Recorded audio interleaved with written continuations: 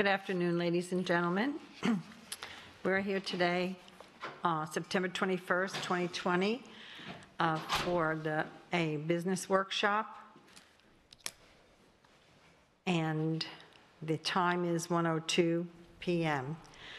Um, On our workshop agenda today, we have agenda review for the September 22nd, 2020 regular agenda, and that's scheduled for one hour, 60 minutes.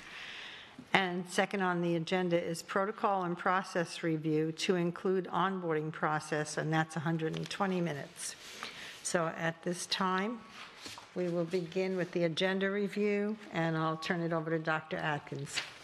Okay, thank you, Madam Chair. Um, Just going through the agenda review, the first uh, item that we received questions on was uh, item E6 on the consent agenda, academic services. The uh, question relates to uh, helping teachers and just a request for more information. Does he or she travel among schools? Uh, What are the duties of non-field, on non-field trip days? And um, what is the policy in general for field trips this year? So uh, we have academic services. I know uh, Lee Hughes and uh, Candace Alivedo will be here, here, Lee already here, so. Who- who, By the way, you had uh, Star Watch blown up. I don't know if you know what that is, but it's almost like a planetarium. If you've got a chance to see it, it's really neat. He had it down in the center atrium earlier uh, today, so I got nosy and had to go in and check it out. So, it, but if you haven't seen that, you ought to see it at some time. It's Yeah, pretty we're- cool. We're, we're training some staff on delivering Star Labs so we can make sure it's safely and securely, you know, facilitated with our schools and our students. It's very, it's very, very cool, and he provides assistance if you sit on the floor and you need help getting up. Right. And I just wanted to mention that Mrs. Morgan will be calling in for this workshop. Okay. Thank you. Um, Certainly under normal conditions, environmental education, helping teachers go out to the school, they pick up students and teachers, and then that is a facilitated field trip. Um, We are currently on hiatus with our field trips. We're providing push-in and school-level support, much like our mosquito education program is providing. So they are going out to schools to deliver some presentations, but they're doing so with social distancing and safe precautions.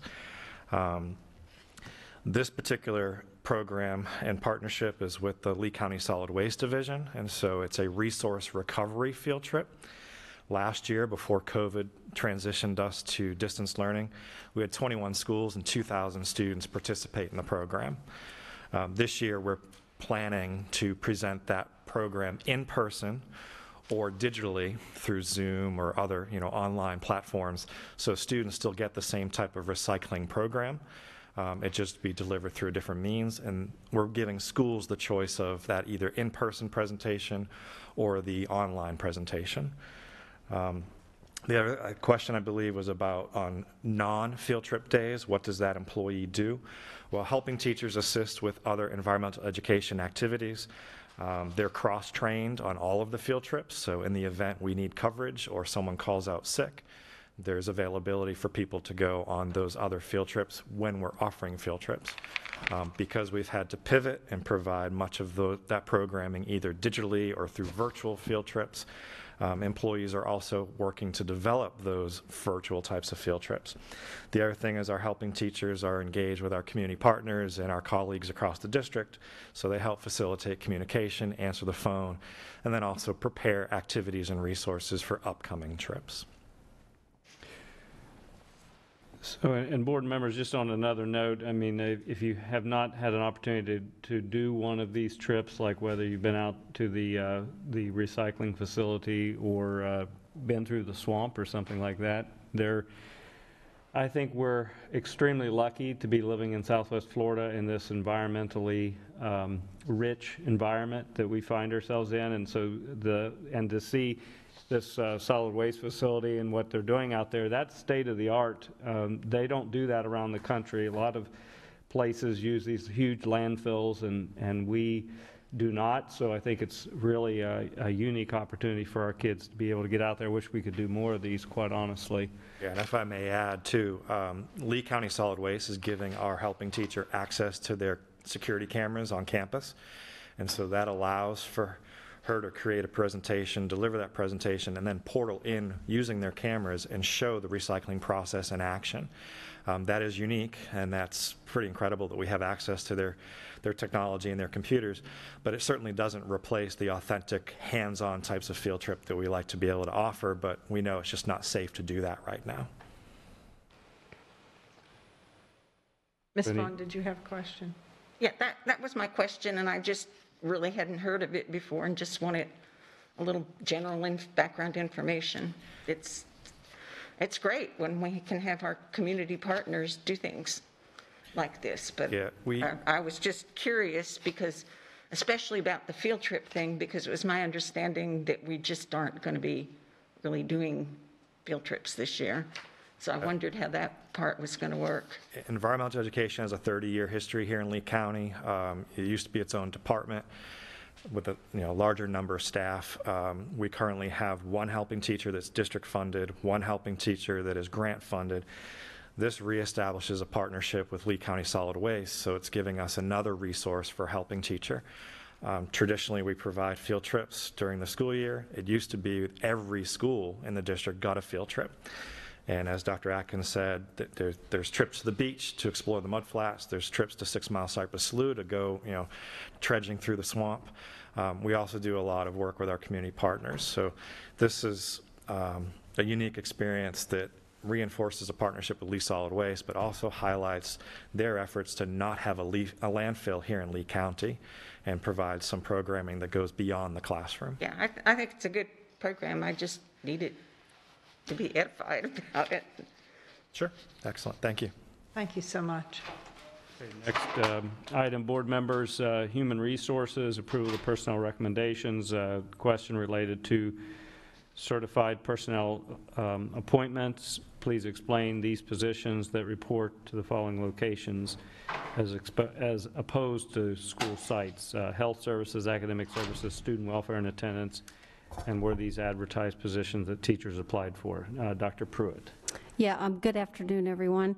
So currently in health services, we have the school nurse position, and in academic services, the athletic trainer position, and student welfare and attendance are the school social workers. Those are all part of the instructional bargaining unit, and the normal um, hiring and advertising and hiring the Lee County way applies. Was there another question you had related to that, or? Oh, ok- okay, so it was, these are advertised if, if particular people want to, want to do that, and they retain um, tout teacher status? Correct. They just, instead of going to their school site, they're actually here like, in this. Correct. In this building reporting? Right. That's correct. Oh, oh, Okay, well, yeah, I just wasn't sure as, as a teacher what additional role they E- would, Each of these positions are, um, have a, their own job description.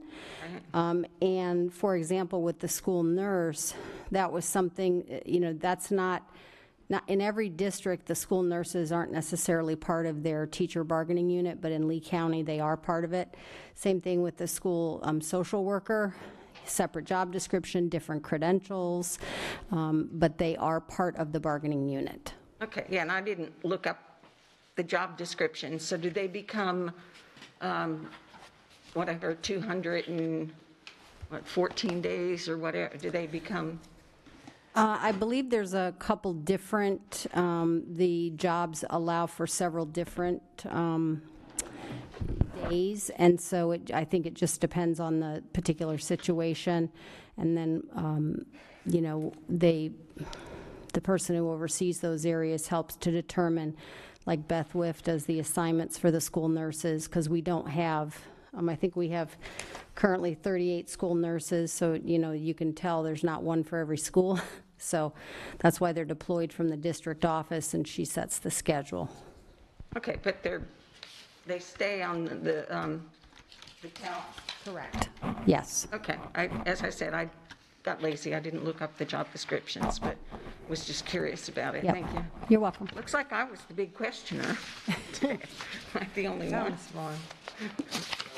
Next item is uh, from the operations agenda. It's approval to increase expenditure for the ITN, indoor air quality, environmental consulting, asbestos, lead abatement, microbial remediation, remodeling, and painting. Question is uh, indoor air quality expenditure increase of 1.3 million for five-month period. Uh, Please explain additional costs of 250,000 each, uh, 50,000 per month for, for coil cleaning and maintenance, day-to-day repairs. Um, Dr. Savage. Thank you. Uh, Just uh, due to COVID-19, the district was proactive in performing additional coil cleaning services prior to the start of school. Uh, When coils are dirty, it makes the entire system far less efficient uh, and reduces uh, its ability to cool efficiently. Uh, This is particularly important when we have increased the level of fresh air circulation. It puts even more stress on the system efficiency, but it is a major contributor to safety. Performing the additional coil cleaning services helps to ensure that coils are as clean as possible and the HVAC system is operating at the best capacity to maximize airflow within facility spaces. It is important during this pandemic that uninterrupted and adequate airflow is continuously maintained at all district sites to minimize the spread of viruses and/or contaminants within facility spaces. The need for an additional 250 will restore part of the funding that was utilized for coil cleaning services prior to the start of school. Again, these additional funds already used were unforeseen expenditures that impacted our normal day-to-day expenditures on the, sorry, I think I've got my, my bid next in here. Have now caused the bid to be short for normal day-to-day expenses. I'm sorry, sir, I think I've got the, the document that I have, I think is crossed on some of the, um, uh, the- And do you the mind if question. I ask questions after each segment? There were, there were, I think, about five questions for each segment. so Yeah, I'm- yeah, can I ask? We were going to try to address, we have responses for each, each bullet point, if that works for you. So yes. Yeah, well, um, okay, so this is for a five-month period that we're adding the additional money, right? Did I read that properly? That is correct. O- Okay. We have already provided monies, funding for coil cleaning. So what you're saying is there's going to be more coil cleaning? Yes, due to COVID, additional coil cleaning. Yeah, absolutely. Oh, Okay, and then also maintenance, day-to-day repairs is also an extra 50,000 a month. What, o- okay, um, you see extra repairs because of COVID? I don't understand, because we already have budgeted for that, but this is in addition because of COVID. So I didn't understand what additional things might be under that. The original amounts that were originally approved were the typical expenditures within the existing normal bids. Everything that's been additionally asked is specific to either additional impact via COVID or to make whole what is essentially otherwise funds that we've had to, to pay towards COVID-related uh, impacts that are taking away from the routine day-to-day business that would otherwise have been approved in the original bid. That's, that's kind of the underlying issue of this, that we had to start ex- processing expenditures against whatever procurement vehicles we had uh, and start expending to meet the need of what we were encountering with COVID. But that doesn't change the fact that we still had our typical business, both in the HVAC and in the indoor air quality, that is still routine work that is typically budgeted on an annual basis. But we have an additional, and I didn't question this, uh, 800,000 over the five-month period already that says unforeseen COVID-19 reactive mitigation. Yes, and that is specific to, some of this has already occurred in terms of the, the pinpoint type of what we've transitioned as opposed to the last board agenda item that we brought that, that kind of uh, priced out whole school fogging for a significant period of time. This is to accomplish the more precise pinpoint fogging that may occur, but again, we are trying to shift as quickly as possible to a staff-based approach where we are able to train and outfit our folks with PPE. But in the absence of being able to do that, we want to make sure we have ample funds to be able to do the fogging as we have done. And again, we continue to receive invoices and things to that effect uh, that we just want to make sure we have sufficient funding in our bids so our work does not have to stop. um, pro- uh, prematurely. But that doesn't necessarily mean that whole amount will be spent. That's just what you, That's correct. We, we have every intention of returning every dollar to the district that we possibly can to try to minimize costs, as- well, without compromising safety, of course. okay. Um, there were, there were a number of bullet, pu- there were, there, even though there were a couple of questions, there were like sub-questions within questions. Do you want me to address the specific additional pieces that maybe weren't addressed at so response? this, that you were just um, talking about, Mm-hmm. um, is this figure, the $800,000 figure, based on services being administered by the contracted vendors rather than trained staff? So in other words, you're That's correct. estimating that it'll take five months to train staff to do this? No, uh, that we are, we're going to try to train staff as quickly as we possibly can. If in the event that we were unable to do that, or there was some unforeseen issue related to liability or some other issue, this would allow us to be able to complete the current cleaning for approximately five months. Our intention is not to do that. Our intention is to shift gears as soon as we possibly can to uh, the, a- a- a- a more cost-effective approach that still provides tremendous benefit, um, but at the, at the, at a cost point. Understanding that we may not get reimbursed for that, but that we'll be doing things in a, in a way that's very defensible and um, is still prioritizing safety, but just doing it with, with saving every penny that we can as well. Okay, and I appreciate that, and I, you know, I actually made a comment here, and I'll be quiet once I get through this question, but um, I'm a little, I'm a lot concerned that about two weeks ago, we had a much, much higher figure, and the plan was, we're just going to fog all the schools, the whole building, every week to be proactive. Mm-hmm. And then I know I questioned, well, why would a whole school need that if certain areas aren't used as much and, and that sort of thing? Mm-hmm. And then the next thing I know, the whole item is pulled and it's, and it's reworked.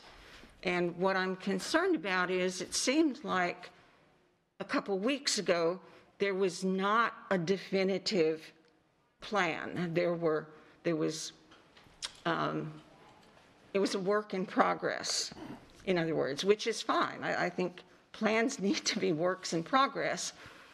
But I'm a little concerned when plans are put out in front of the board before they're finalized.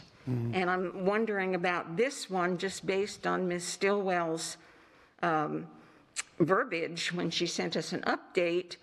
Our team is currently working on replacement model that will allow, and I think that's great. That's what I personally would say from the get-go.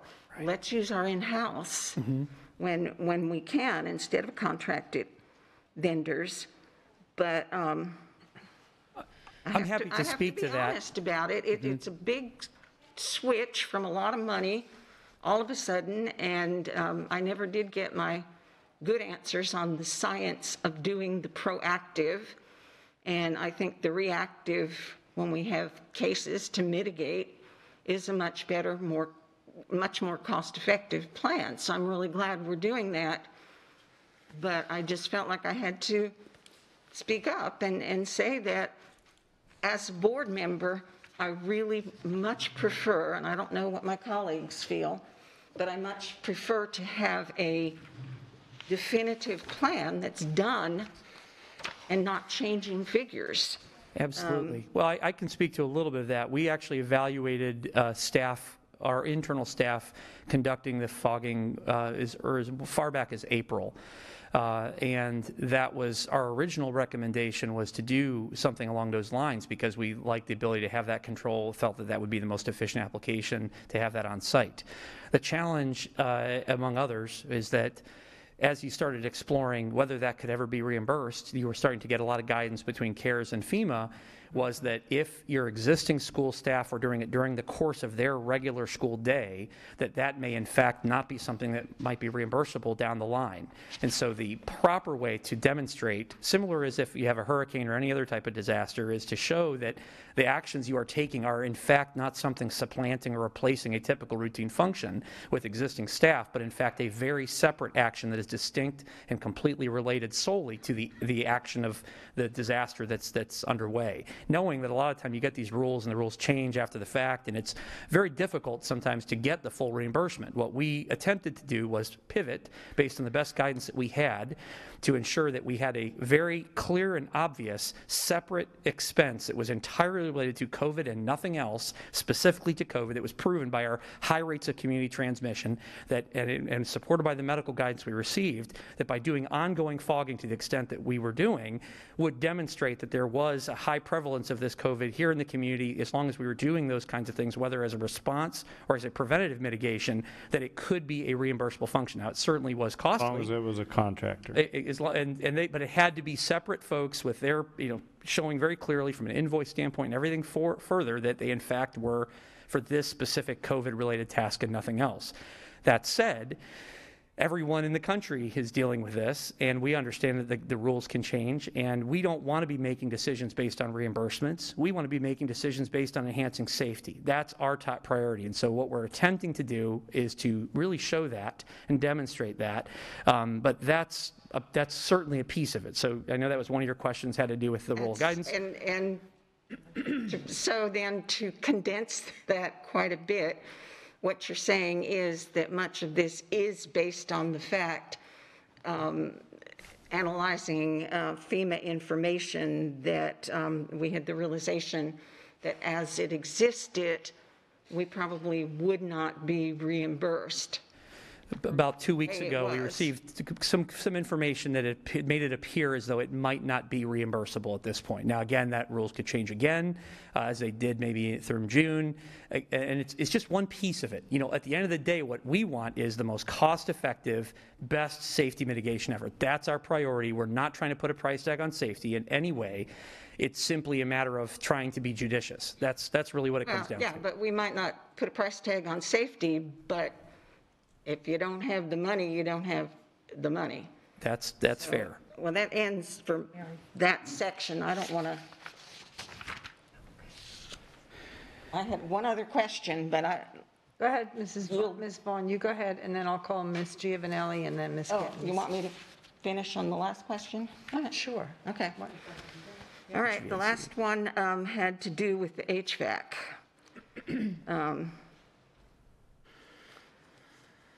Would you like me to hit, I have, they're really, these are pretty short responses. this If- was, Some uh, of these doesn't, okay, so you talked about the coils, and I don't know much about air conditioners, but I know they have coils. So these kind of come together, do they, do they not? The repairs, the, because we have money, 250,000 for the five months on coil cleaning. Um, Does that not, So that's in the other piece, in the air quality piece. This HVAC piece, we specifically addressed filters as part of the concern. Um, But, but yes, but that certainly they're all, affects, that's, that affects the air quality, yes? absolutely. A- And that's why both these two are together. It's why we are able to use the fogging under these two areas as well, because it is an interrelated area, for sure. Uh, Our HVAC systems are how we predominantly ensure air quality, so it, it makes sense that they go hand in hand on that. Um, I, I have the, I actually have your questions here in front of me, and I can give you, the- they're really, these are short responses, so I can read them, and, and hopefully this will be sufficient. Sure.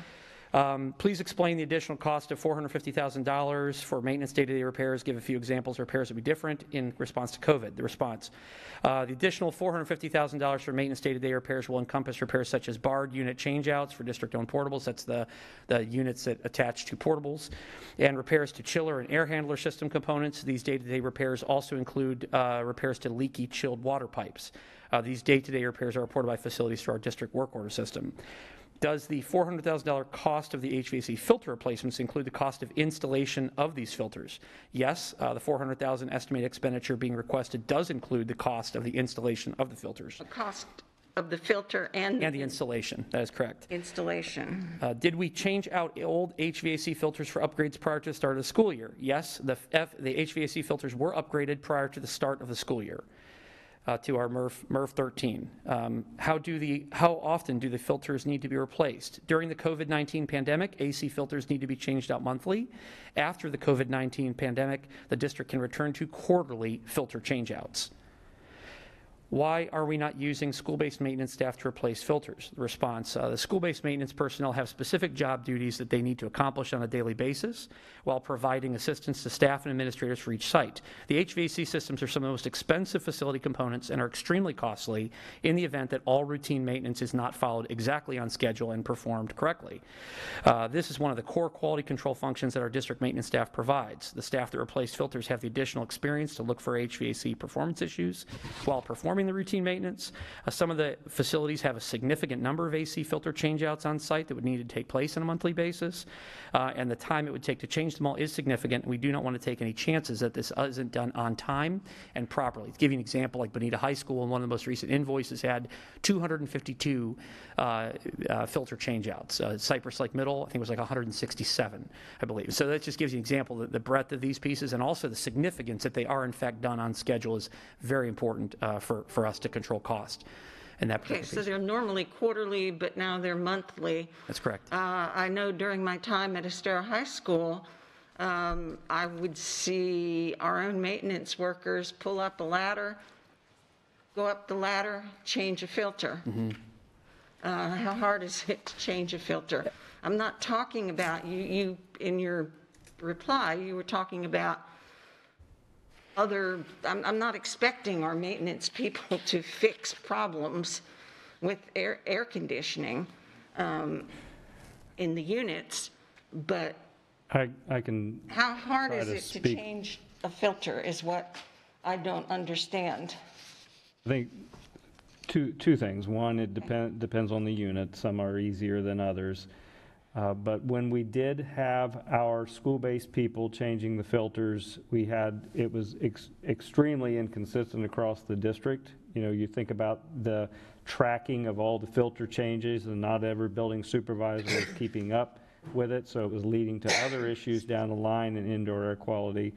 Um, So the district then just made the decision to take that, that, that function back over and do it through the maintenance department rather, th- and do it this method rather than do it, than count on, try to count on our building supervisors to do it. I, Well, I can personally tell you, I don't, I, I, I can tell you that if a bus, if a supervisor is not doing his or her job and um, that person doesn't have business being there, and besides, I, I know we have um, APs that are in charge of, right, Mr. Buchanan, when I, he was um, the assistant principal in charge of overall, um, and, and I think every school has that, don't they? I was one of them, and, or and had one to of the also do it duties as a of principal, so yes. I- Assistant I'm- principal, it just, um, not right now, but I, I would like to see this kind of like, how many, just, you don't have to do every school, but give me, s- um, within the next several days, how many schools, uh, or like some of the schools, how many change-outs? And, um, the cost of the filters, because I imagine these um, MERV 19, MERV what, 13? 13. Me- MERV 13 are more expensive, I'm sure. But they've got to be the same size, so they wouldn't fit in the place. So I, I- I'm just not, whenever we have anything that we need to have done like this in the maintenance area, um, it's, it dismays me to see how many times we contract out to vendors versus using our own. I mean, from cabinetry, we have, I've toured that area, we have artisans in that department, and we have building supervisors and assistant principals that have the duty to see that the things are done, and, and frankly, this time, I would like to see it not centralized to the district. I'd like to see each school um, take it upon themselves. This is just my opinion as one person, so thank you, I appreciate your answering all my questions, and I am finally done. I Thank you, appreciate Ms. Vaughn. everybody's We time. appreciate that. Ms. Giovannelli. Thank you. Well, I just had one real question. So the, the filters, Mrs. Giovannelli, can you pull your microphone down? there you go. Is that any better? Yes. Oh, thank you, sorry. Um, the filters, they're, normally they're done quarterly, because like I know at my home, we do them monthly, so, that, so now you're doing a monthly. So I was just curious about that. And then, um, I was, the, one of the questions is, um, we do have an HVAC department, but do we just not have, don't, don't have enough staff to, to support that endeavor? It sounds like this is kind of a larger topic that I'd be happy to go back to maintenance staff and just get a briefing, uh, just some nice material for you all to react to that gives you a little bit more comprehensive piece of what our internal staff does, what our building folks do that are there um, around this topic. If this is an area of particular interest, we're happy to provide some additional information to kind of supplement that piece of what we rely on contractors to give you more comprehensive information so it's not just all being received verbally here like You- today. I think you'd be surprised at how- just literally how massive this is. I mean, yes, it's certainly something that we could, we could manage internally. We have done it internally. Um, You know, is, eh, I will tell you that I wouldn't be comfortable to do it, to count on every single building because of some of the complexity of some of the, the buildings and making sure that that piece of equipment, it's a multi-million dollar piece of equipment. I want to make sure that that is maintained appropriately. And, and I, I mean, Ms. Vaughn, I don't disagree, you know, you, with the consistency, your concern, you always are talking about consistency, mm-hmm. consistency. And, and you're absolutely right. It's extremely important to be consistent with the maintenance of these HVAC systems. And I know prior to that, as a district, and this is years ago, we were very inconsistent and it caused breakdowns um, and indoor air quality issues, and that's why it did come back in-house. So whatever solution that we ultimately land on, and I don't mind looking at something different than contracting it out, but it has to be something, I think, that guarantees the consistent maintenance of these extremely expensive pieces of hardware. No, I, I totally agree, because I know sometimes I kick myself and say, oh, I need to change my filter at my, at- in my house, but um, it just seems like in this particular instance, it's just another step away from the school. And, I mean, what, somebody in the school needs to be, because it is so expensive, and we want the filters to be changed out, even when there's not COVID. We, we don't want, in some of the older schools, like a buildup of mold or, or whatever happens when the air conditioning's not working right. But it, it just seems, personally, I'm just, I don't know what my colleagues feel on this, but that it seems like it might be an issue that could be dealt with within the schools, and then if there's a problem, um, that's when you call in the vendors or the experts, but that's, when it comes to teacher salary, I'm like, spend the moon.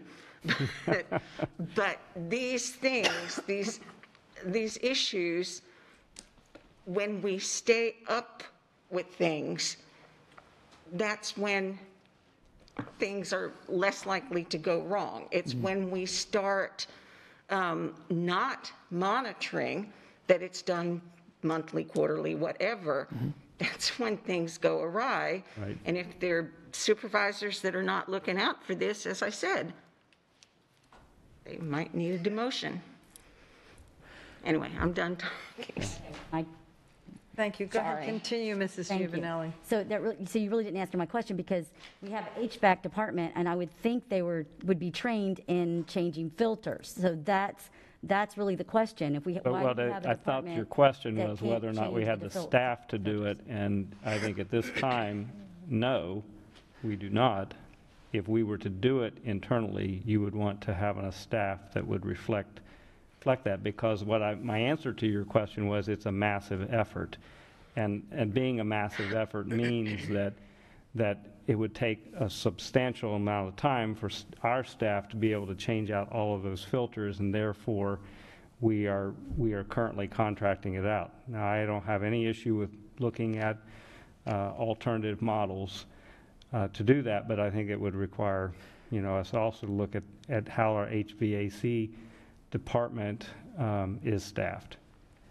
So, and that leads me back to the question I asked um, at the last meeting regarding um, the companies have enough staff to do it, because I thought that was the, that was an issue. So is the staffing aspect, and I never got an answer exactly how many employees they have to, to be able to um, handle such a job, you know? So that was one of the questions that I never got an answer to. Well, because I don't think we know how many employees that a private company has. That we have a Don't they have to contract be with. vetted and through HR and everything?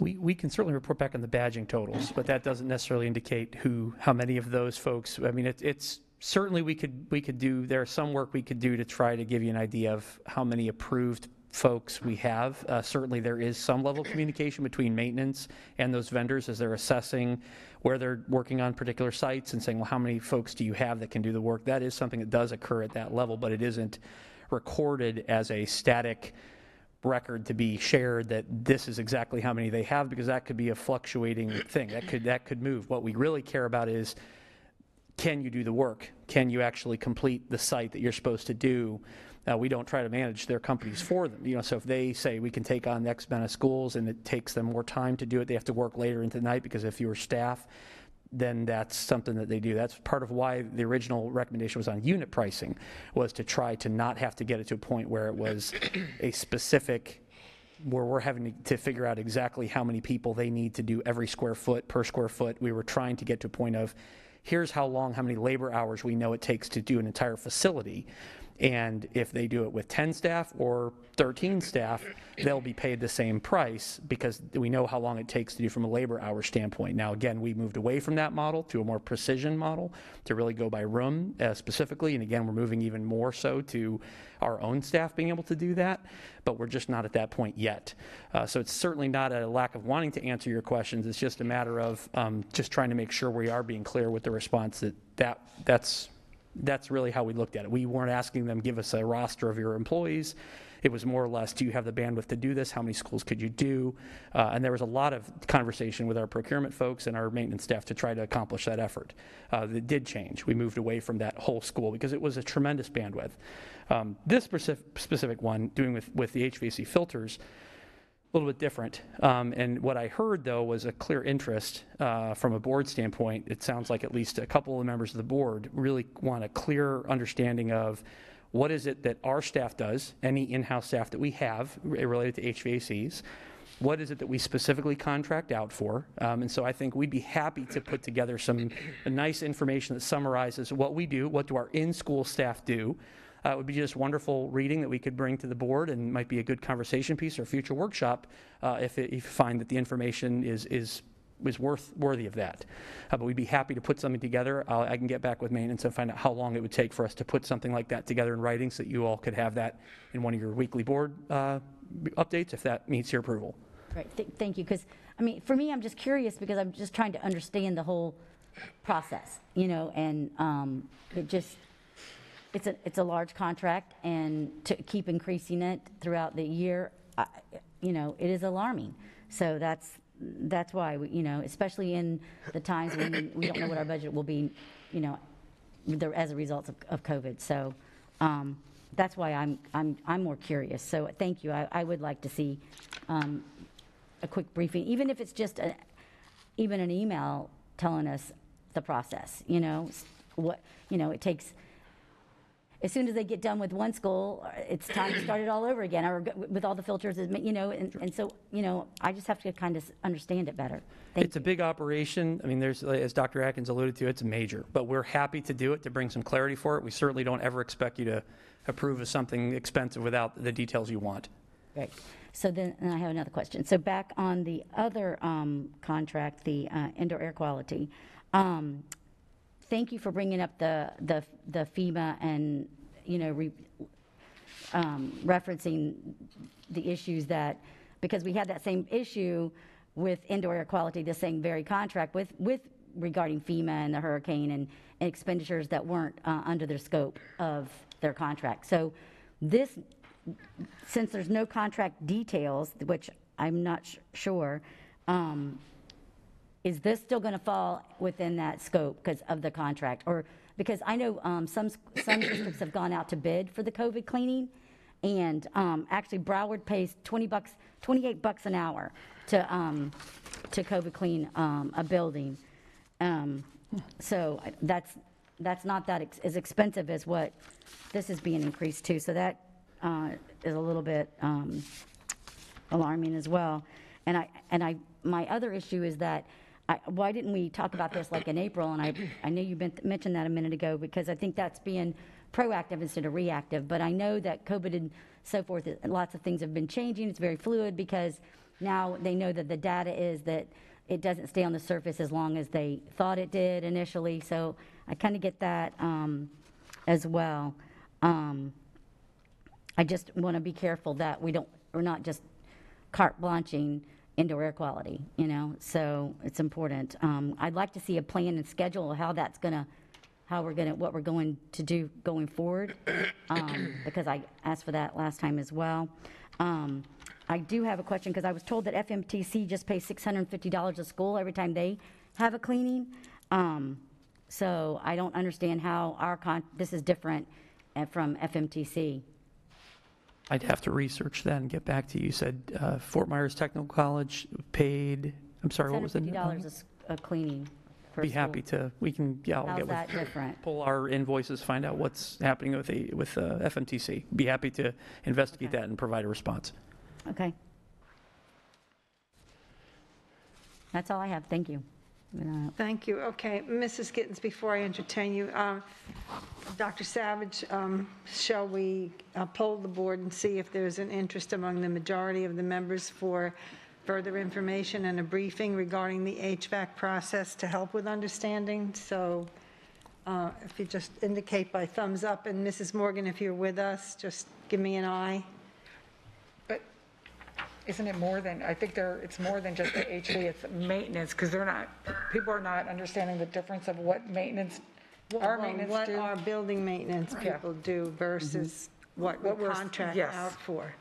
Because sometimes with the contracts with the people who install HVAC, isn't there some kind of support? Forward with that as well. Uh, And we as could give part you a of comprehensive information if that's a a topic of Right. interest for the entire board. And or if, if the majority are interested in that, then Dr. Savage can go ahead and perform that. Ms. Patricca, Uh, I can live with it. okay, I can live with it. Okay, We'll be thank happy you. to do it. Thank you. okay, and now Ms. Gittens? I just had a quick question. Um, I know that, that we have all of the supplies, we got the container loads of all the, the, um, I, I would call it disinfectant, but the material to, to fog and all of that, and to do that type of thing, and that we're now in the process of, of trying to train our employees, correct? Uh, Well, to clarify two things. One, yes, it is a disinfectant. The uh, is a disinfectant, so that's correct. The second piece, we are in the, we are developing what that process will need to be uh, in order to train our existing staff. So figuring out what requirements have to be in place specifically for our staff to do it. Um, It just hits a number of different areas. And so we just want to make sure all those things are done so that we're doing it properly. Uh, And then we will, as soon as, and- but rapidly, uh, as soon as we possibly can, we will, we would like to move in that direction. That's our intention. So in the meantime, we are using outside people to do it? Response fogging, as we have been doing under our uh, IAQ bid, that is correct. Okay, and we are not, um, but we're not doing the daily and weekly and all that any longer? We are not doing the weekly entire site fogging, that is correct. And I guess my question is for the sake of our people, our maintenance people. A lot of the people that work in the district have more than one job. So are we going to be able to offer them this as an additional Or are we going to have to say that, you know, this is a part of your job? Well, potentially, it's one of the things that gets evaluated, the role of overtime, the role of, if it's something that's within their existing job description or different, that's again, factors that have to be, they're part of that process as well. Uh, So on what level, who would be trained specifically, um, and, and how would that play out, uh, all has to be developed and as part of that plan. That's correct. And, and we don't know a time that we're looking at? As soon as we possibly can. We really, uh, we're, we're on it already. We've had a number, we've actually consulted with a few other folks who do this work to get their opinions, to research other school districts, to try to get the best information we have and then quickly um, move within our organization to do it as well. And I think the concern of some of the, the people that have contacted me that did hear that we're not using the company or whatever, it was, what is happening? You know, how are the places getting cleaned and disinfected if we're in the midst of changing one to the other? So Well, that- well, it's, it's very important to also note that we do, as a matter of our normal surface cleaning protocols, we do have existing protocols to harden us against the virus. Uh, so it's not as if we are either defenseless or it- this is just in a more aggressive form of mitigation. Um, and the response fogging gives us better, even more significant coverage. Uh, but our, our daily surface cleaning provides a significant level of protection every single day.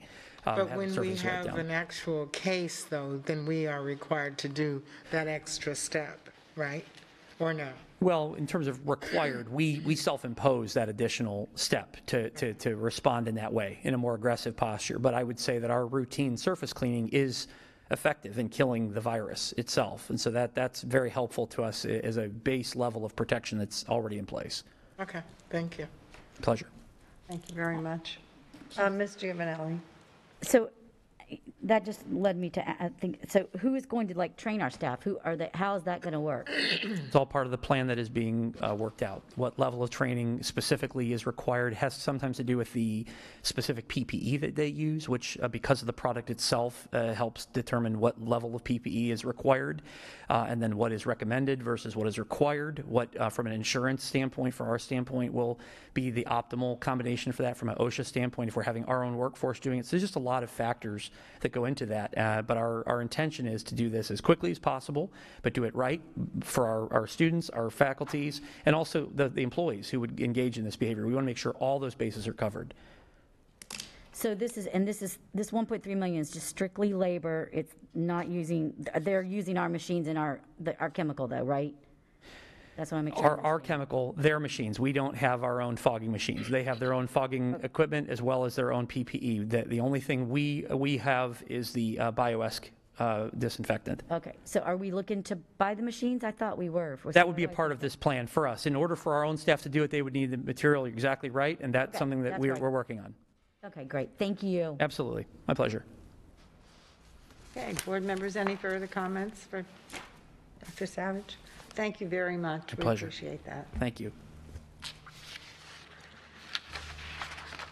Madam Chair, that's the, those are the questions that we received. Um, There may be additional questions, and I'll ask Okay, so we'll see if there are any additional questions, and if not, we will move on to our protocol and process review. Uh, Ms. Gittens? I, I'm sorry, I did have a couple of questions, but my, um, our internet was knocked out last night, so I, I couldn't send it back. If necessary, I can, um, get them to the superintendent. I do remember one, though, was, um, G1, if I may. Excuse me. And the question had to do with, um, I, I'd like to see like an org chart of how, of the positions at the schools, and I don't know if they're different for elementary, middle, and high school. And the question, excuse me, I've got a sinus thing. Um, the question had to do with the, um, the dean position, and I know that was put in maybe a year or so ago, uh, the dean for, for, um, uh, discipline. And the question had to do too with, is that position, I know they're not an AP, but in several situations, there have been people that were in the pool that were told, if you do this position, of uh, Dean of Discipline, it will help you to get further along in, in your career to being an AP.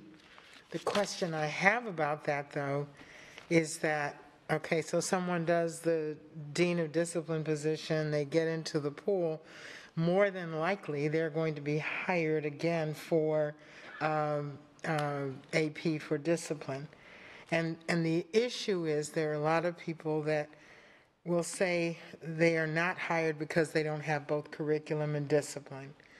And so I'm just wondering, how are we, how are they able to do that? Because people do get pigeonholed. They're good at discipline, so we'll put them at this school and they'll do discipline. And that hurts their future progression, because if you don't have both, at least some curriculum, then, you know, no one wants to hire you at another school and then looking forward to being a principal.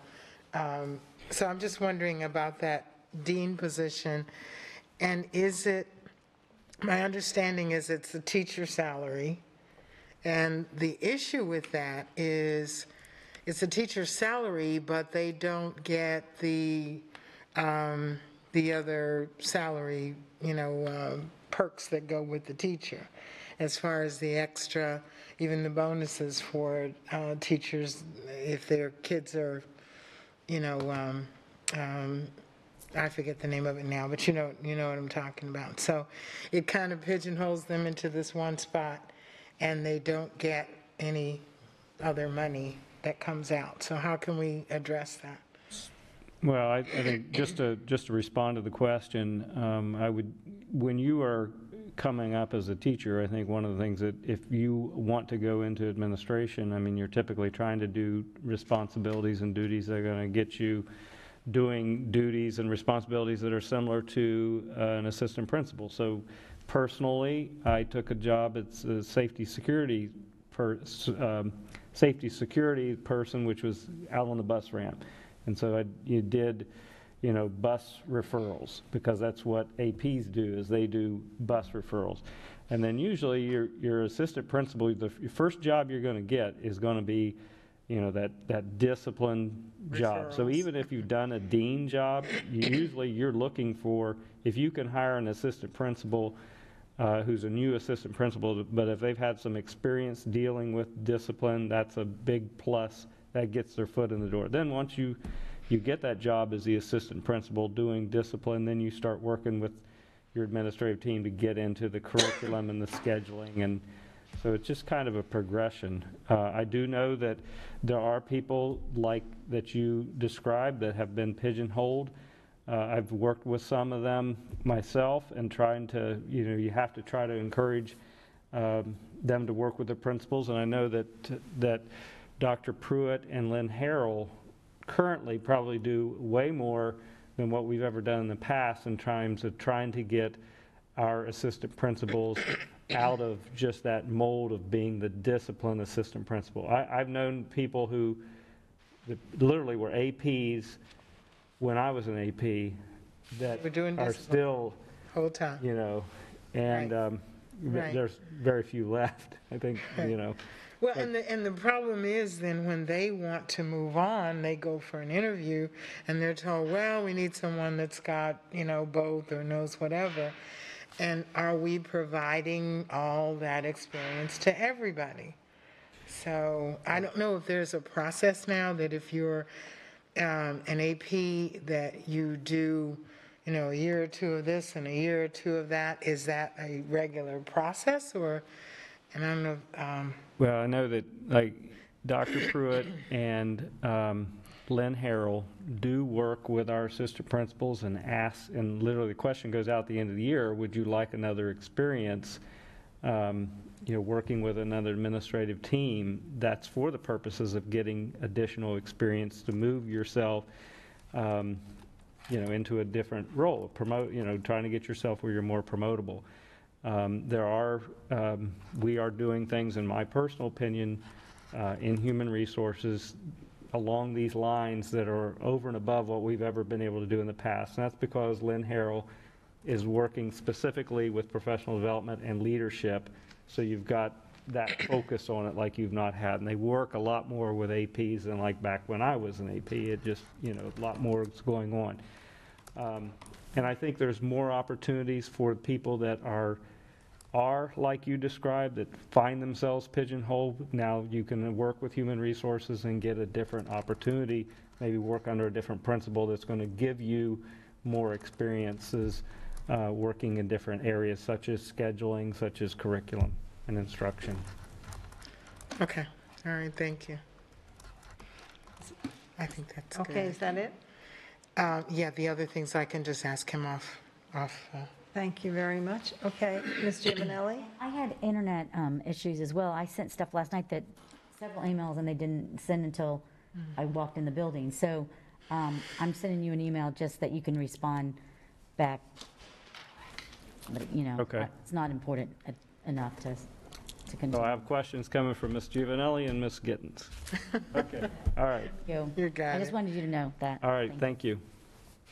Thank you very much. Okay, um, it is um, 1:56, so we're actually four minutes ahead of schedule. Yippee. And we will now move on to the protocol and processes review to include the onboarding process. And that's scheduled for two hours. And at this time, I will welcome Ms. McClung. Good afternoon. Good afternoon. So thank you, board members and Dr. Adkins and uh, Attorney Dupuy Bruno. It's nice to see everybody this afternoon. I'll take just a moment here to get our items up.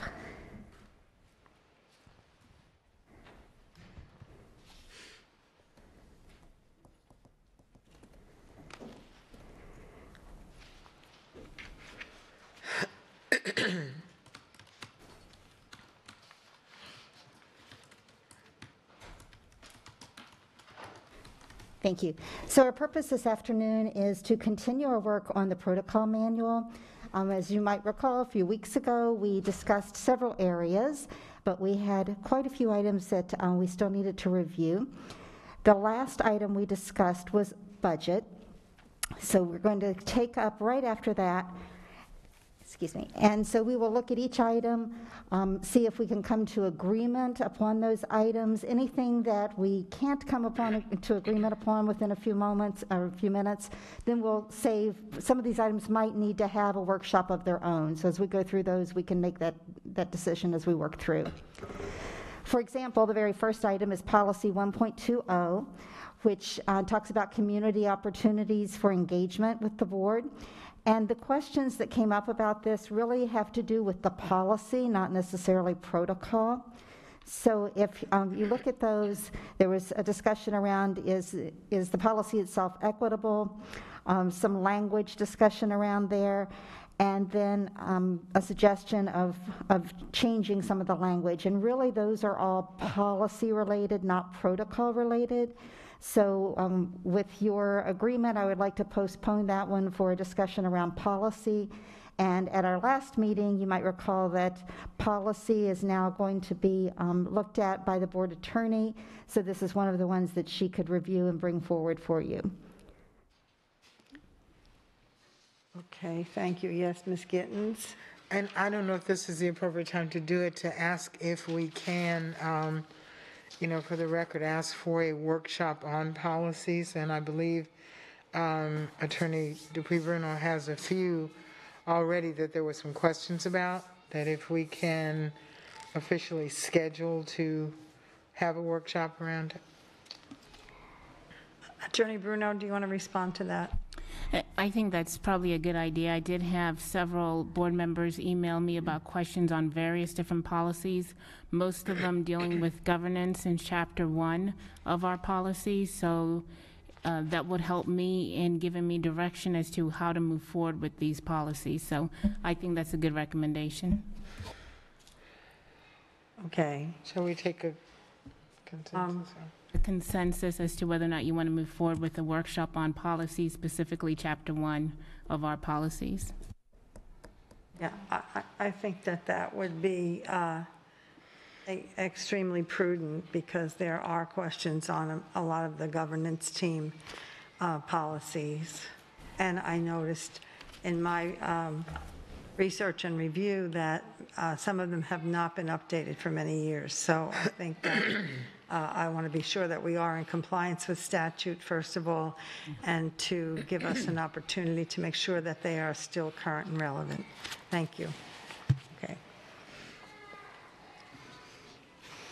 Chair, Madam Chair, we Yes. still need a consensus to make sure that the I can't board, hear you, Ms. Bruno. we still need a consensus to make sure that the board wants to move forward with that workshop, Right, that Yes, and particular I think I workshop. saw all thumbs up and one sideways.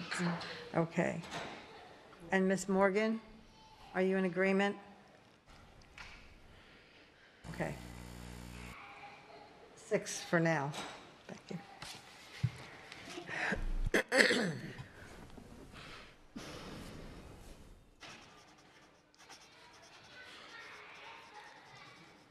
A happy camper.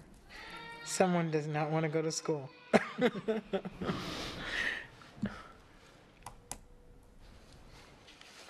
Ms. McClung, do you want to continue? Yes, ma'am. Okay, so you- um, those will come back then with the policy. The next question was around committee assignments, and the question was, didn't we change this? And and yes, we did. The changes, though, are what is currently in your protocol manual. So the change was made from assigning committee members in November. Instead, we now assign all committee members from a a- a July 1 to June 30th timeframe. If there is a change on the board, then um, the, the new person would just take over the responsibilities of whoever, whatever that board member had. But that was the change that was agreed upon at last year's um, reorganization meeting. Right. Are you going page by page or what? I'm going, the, the, uh, the spreadsheet that is up. Okay. What number are you on, I On guess? tw- uh, 25. Well, she's on 20, Page two, 24, bottom of the Page page. 24. 24. or 24. Committee assignments. Okay, are there any other questions a- around those assignments? Okay, thank you. The next item was around graduation, and there, um, the request was to add specifics for at-large members, and then um, also one around cap and gowns, but let's start with the at-large members. And I don't know who had requested this, but if you could clarify exactly what you would like to have on there. Ms. Vaughn? Oh, okay. And of course, this year was very different, but um, the first year that I was on, on the board, I was kind of excited. Yeah, you get to go to some of the schools. And basically, I was told by our office manager um, that at-large people do the, the charter schools. And um, I said, okay, I don't get to do at least one. No, that's done, you know, by, and, and so apparently there's, there's some kind of unwritten rule.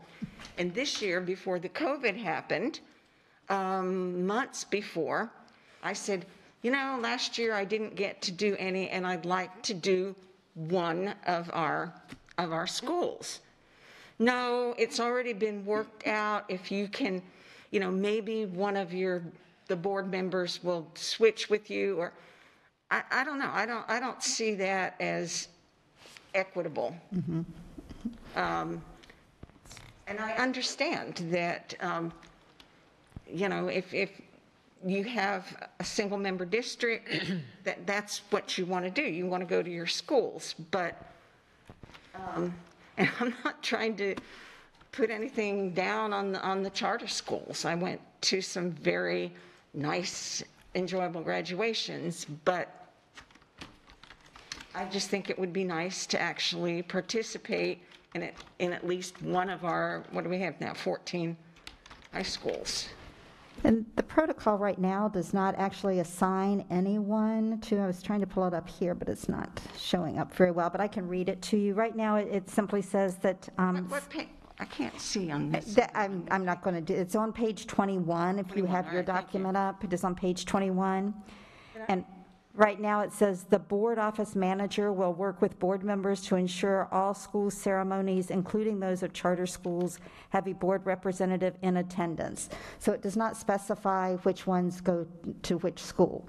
Right. And, and Ms. McClung, On, on our screen, where the manual is up, it's only at 48%, uh, so. Yeah, I that's what I can't was trying to switch here, and it's Yeah, not, I I made. there we go. There we maybe. go. Okay, that, that's much more helpful. There we go. And, and I, I, there was a conversation, I think, right um, before graduation, and I know this was a different year and we didn't end up doing our usual, but I think we had made a proposal that because there are 14 traditional high schools and seven board members, that each of us would do two high schools.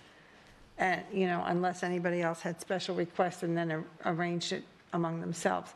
But I, I would suggest that that might be a reasonable um, plan for now. I mean, and Well, and as well- the board changes and as our, Well, and I numbers of actually schools even talked to Dr. Adkins on that in, in one of our one-on-ones because, and, and maybe it was, you know, we had a wonderful office manager, but I, I can tell you, she told me, no, it's already been planned. Mr. Simmons and I have worked on this and, and it's already been planned that people are doing their, their schools in their district. right, so moving forward, I think that we can then uh, come up with something a lot more equitable and give everyone the opportunity. Should it be something in writing?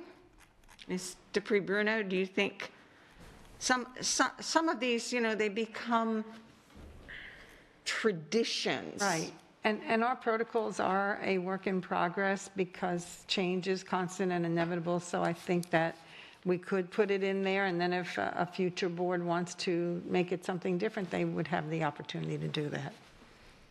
Yeah, I would agree that it should be in the manual to give guidance, and anytime something is written, it's always better, so everybody's on the same page.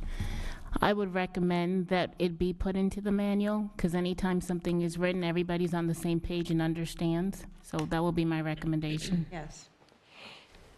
But then you also have to add the charter schools, you have to add the technology, technology schools. I mean, all of that is part of that. Right, right. And, and that, and traditionally, the list included all of those. This was a very unusual year, but traditionally, it, it all did get covered. And some of us were doing three or four, and, and some of the dates are different for some of the charters. But I think that, I think that we can accommodate that. And when the list is created for that particular year, because we are increasing in our numbers of schools and, and charters, uh, then we can, I'm sure that adult professionals can work that out. But I, I agree that if we said traditional high schools would be covered by all board members from all seven dis, um, from the five districts and the two at-large. Okay, so, so I want to be sure that I'm hearing it correctly. So the language would change to indicate that traditional schools would be divided between the, between all seven board members. And charters and special schools would also be divided, duties would be divided between the board members. Okay. Yes, Ms. Gittens? Now, I, I don't know, and I'm not being selfish, I do know that, um, you know, it, it's, and maybe it is just a tradition or whatever, but doing the high schools in the area that you represent is, is kind of an important thing. And I understand um, sharing that with others, and maybe that could be worked out to, to rotate that with some of the at-large um, members. But I, I feel a certain way about doing the high schools that are in my, especially in my district. Uh, And, and we can work out something to alternate one or whatever, but I don't know that I would want to give up the, the schools in my district that I work with all the time. Uh, understanding that all board members represent the whole district and that we are a governance team, I think that we can work that out when the time comes, but we will make sure that everyone has an opportunity to participate in the end-of-the-year graduation ceremonies if they should occur in future years. Ms. Giovannelli and then Ms. Jordan. Well, I just wanted to remind everyone that we will have a new school. Yes. And- And that's going, to it's not going to be 14, it'll be 15 high schools. So it, it, you know, and so we do have to you know, spread, sometimes some of the graduations are going to be at the same time, so it's just not going to be humanly possible. And, and like, I have a lot of um, high schools in my district, but I think that sharing that, and we can pick and, we normally have a meeting and we say, okay, I'd like to do this one, I'd like to do that one. We didn't have that this year. So it was selected for us. So, um, that's important to know that it just wasn't, like you said, a normal, normal year. So I think, you know, we have to understand that we have to share the wealth of our high schools. Well, uh, because we are the board, we are a team, and individually, we don't make decisions. We make it as a group, so. I mean, and I think we'll honestly, be I would like to see all of us at the graduation of Gateway's um, first class. I would love to see, I think, every board member the very first, you- so, I mean, that, there's some, there's things that can change, and it's, you know, everything's going to be evolving, so I think you have to, like you said, you know, so. Work in that's- progress. Yes, exactly. So I, Thank you. so Thank that's you. my opinion. Thank you. Ms. Jordan? And- And I was going to say the same thing, that we, with this, um, I know we all represent the whole entire uh, Lee County. However, when they look at us, the people who call us are the people who live in our district because they believe that you are that person that's supposed to be representing them because of where you, the district that you are in. And even with um, the last two years, I mean, even um, Susan had come to us and said, you know, this is how we're doing it this year. Do you mind doing it um, this way, giving up one of the schools? And I know for uh, two years, Ms. Patricca has taken Dunbar, because we've talked to each other and said, okay, would you mind doing this one? And I'm going to, because we are adults, we are grown, and we can have conversations where it brought us to who was taking over what, um, over what schools. So I just, you know, to me, putting it like saying, well, this is what you have to do or else, because then is going to come the issue of, well, okay, who's going to go to what charter school? And who's going to take care of Cape Coral Tech, Technical and who's going to take care of this school? It's going to come down to that. Well, and, and I think because we're a team, we can work that out when the time comes and we know the numbers and the dates and the names of the schools. Ms. Fischer? Yes, Ms. Gittens? I I just wanted to add, I, like I said, I'm not trying to just uh, be greedy about it or anything like that. What I was saying, and, and uh, comment to what uh, uh, Ms. Jordan just said, I think it was Ms. uh, uh, Giovannelli came to me and was saying that, you know, one of her grandkids or someone was graduating from a specific school and they'd like to do it. And so we worked it out. Um, But I just, I just, anyway, I will leave it, and I don't want it to seem like I'm just not trying to share with everyone else. So Oh, and- please and I don't, think that- please that- don't put that as the reason that I said that. Right. And, and Ms. Giovannelli? Well, it was actually my cousin, but, um, but we can still attend the school. You can, if still, if it's another one, another board member, there could be more than one board member. That's my point. That's all I'm saying. Problem. It should not be, right. Thank you. Ms. Vaughn? I think there needs to be some specific language. It doesn't have to say everybody should have two, but I think it should say that the at-large members should have an opportunity to do it. I don't think, um, you know, for instance, knowing how Ms. Gittens feels, I'd feel really bad saying, um, hey, Gwen, uh, you have X number of schools and I have only charter schools. Give me one of yours to be, I mean, the first, the first year, I was really kind of surprised. And then I saw another at-large member have one of our schools and realized that her friend said, hey, why don't you take? And, and I, I don't think it should depend on, on, on, on that. I, I, I think Right, and, that. and I um, think, yeah, and I and, think and the that, charter schools are part of what we do. And as I said, I had no problem. There were some very lovely graduations. They are. But it would be a nice experience for me to go to at least one of our schools. And I don't think that's asking a lot. And I don't think the at-large members should have to beg other members. And, and um, I'll, I'll be honest, um, Susan said to me, no, that's not how it's done. Right, we understand that, but, uh, you know, this is a different day, and we're, and I know that Ms. McClung will come up with the perfect wording that we can approve when we So- review it, and so, and we Um, just and spent 18 minutes on this, so I want to move on, because the last time we uh, went through our protocols and processes, we ran out of time, and and we don't want to do that again this- today, so let's try to move on, and then, Ms. Dr. Adkins. Just the, the only thing I was going to say is that, that I, I know that's maybe what, I understand that's what she told you, but, you know, this is, this is relatively new that we're seven members. I mean, Yes. really. I mean, and, and so there wasn't, I don't recall any, anything being set in stone in, in terms of you have to go to this graduation, you have to go to that graduation. Mrs. Giovannelli is absolutely correct, too, that I've seen many times where more than one board member attends, you know, and then, you know, it's just Absolutely. decided who's going to be the one board member that, that, you know, Receives the class. receives the class. But, um, you know, I think it's just something you all need to, to work out, and It'll be fine. We'll work it out. Thank you, and I appreciate your faith, Mrs. Fischer. I'm sure we'll be able to come up with some wording that will be appropriate. Uh, The next item are related to graduation. The current wording now says that a cap and gown will be more ordered for each board member, and then there was um, a request to just change that to say that each board member who does not choose to use their own. Is that acceptable to everyone? That's fine. Okay. Thank you. The next item um, was a request to add the Florida Department of Education standards and requirements to the appendices. I'm not clear exactly what that request is, is if it's simply they want to have the standards added, would a link suffice? If we could get some clarity around that. Okay, is, do we know which board member suggested that?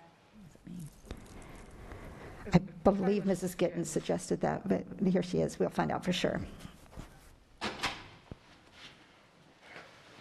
Ms. Gittens, did you request um, that, uh, for the appendices, to add Florida Department of Education standards and requirements? Ah, yes, I believe I did. I'm trying, I was trying to find some cough drops, so. um, I was just asking for a little clarification around that, if you wanted the standards added or a link to a specific web page for the FLDOE. Um, I believe, I'm trying to recall, I did this, thank you. Um, I would have to look back onto my notes and from the last time. Um, but it was basically just the requirements that we had, I believe were just either ours or FSBA. And I just wanted to make sure that we had the uh, DOE with it as well. But I'll, I'll look into it and get back to you. Okay, thank you. So, Ms. Gittens, are you talking about the academic standards, or? Um, Sure, Looking at the exactly. Because appendices. that would be mammoth. I mean, the link, and, and that's all available in academic services. Okay. Let's just skip over it, and I'll get back to you, Cindy, about it. I mean, uh, you know. Okay, thank you. Uh, The next item was around the job description for the board attorney. Um, And there was a question about, does- did it need an update? And then also the board auditor job description, and that has been added. But I'm not clear what the dis- question was around the board attorney's job description. Okay. Probably I, I think that um, uh, there was some discussion at one point uh, regarding the board, board attorney's job description being updated because we have had additional um, responsibilities and, you know, times are changing. So um, I do believe that there was, Ms. um, Attorney Bruno, do you have an updated job description? I have a job description that includes the contract terms in addition to the original job, de- job description. Oh, Okay, and that might have been it, because it was not consistent with the contract? Or, It's additional things from the contract that was not necessarily in the job description. right, okay. And then I don't, do we have a board auditor job description? And I don't know if Dr. Pruitt, We do, and that's already been added. pardon me? We do have that, and it's been added. Okay. It's been added to the protocol. So um, A- Attorney Dupuy Bruno, if, it- we'll get together and, and make sure we have the correct one in the manual then. Thank you. I believe there was also a question around that title. Did the title of that change? I, I believe that there's ongoing discussion, and I guess it hasn't been um, finalized on exactly um, the job title. Ms. Mr. Pre Bruno, did you have any updates on that? Weren't you and, and uh, Mr. Williams and the whole legal department talking about um, slightly changed titles? So there, there was some discussion. I don't really have any additional updates to that. Mr. Williams is um, on paternity leave at this time. My recommendation would be perhaps to wait till he comes back, and then we can pretty much um, discuss that. Okay, so once it's finalized, things can be amended or changed? I think we're probably going to need some board direction and guidance with regards to that. Um, There's just some confusion with regards to our titles when it comes to um, the public, certain, even outside counsel. So there's a little bit of confusion we just need to clear up, but I'm sure we're able to do that. Okay. Right, and, and I- if I may just add a little, um, I, I have done some research. I participated in a meeting with Dr. Adkins, Mr. Williams, and Attorney Bruno. And so um, I, I think the, it came to our attention when there was a question from the Florida School Boards Attorneys Association regarding who is our general counsel. And if you Google Lee County School District General Counsel, you get Mr. Williams' name. Mr. Williams is our chief legal counsel. However, um, that's, mm, that's not, you know, traditionally, again, traditionally and historically in the state of Florida, in districts, the general counsel is the school board attorney. So there was some confusion about that. And then with um, uh, other attorneys who were participating um, by contract and uh, in, in some of our um, litigation discussions were not clear on who was the general counsel. And the school board attorney is the general counsel. So uh, according to um, F, FSBAA and FSBA and um, the Department of Education. So we just wanted to be able to clarify that and add that general counsel title to our school board attorney's uh, card or identifier. That's why I brought it up. That was what brought it up, yes. Wouldn't uh, Mr. Williams, they be, if, if it was general counsel, general staff counsel? I mean, there has to be some differentiation, or otherwise it gets Yeah, I think he said that um, he, he is like one of the chiefs, so he is chief staff counsel. Right, and but that's it- fine, chief staff counsel, but just That would general be like a counsel word means. change, but of course, um, and he's aware of- of all that, and, and perhaps uh, according to Attorney Bruno's discussion, we could, um, you know, revisit that. We could decide to add general counsel to her title right now, or we could um, wait till uh, Mr. Williams returns from his leave to um, have an agreement on that. And then I have Ms. Patricca and then Ms. Giovannelli. I'm completely unprepared to have a discussion surrounding this because it was my understanding that we would be taking a, a comprehensive look at all legal services in the district after um, Attorney Williams returns. So I would ask for your professional courtesy and put this off until after that so I can do the research I need to do to make an informed decision. Okay, and we've had this discussion at the table before. Yeah. And I, wa- My and I was, last discussion with Attorney Dupuy Bruno was that this is a discussion that would take place at the board table after Mr. I Williams was not returns. aware of that. So when I saw this on today's backup material, I, I just, I didn't spend the time on it. But Because it's been on there since we Correct. submitted our questions. Correct. Okay, Ms. Giovannelli. Well, we've been in discussion with this several times. Uh, we, we've talked about this. So, I mean, I'm ready today to make that decision because I think uh, any more, any more time, the public is confused. And then not only the public, but we have other um, legal, uh, uh, we have attorneys that are confused. So I think it's important to have that you know, clear and communicated and tr- being transparent with that. And I don't see the delay because, you know, uh, it's already been delayed as far as I'm I, concerned. so. I asked, please, as a professional courtesy, could you put it off so that we can follow our own board attorney's suggestion to have a comprehensive look at all legal services and make decisions at that time? So please, as a professional courtesy. I think we can still do that, but I think we can put the general counsel. Mrs. Morgan? Oh, Yeah, counsel. I would like to say, and, and say simply that I think this is a matter that can be settled amongst the people who are serving as attorneys in the Lee County School District. Let them make the decision about how the titles, position should be titled and come back to the board with their recommendation if it's been incorporated in the protocol.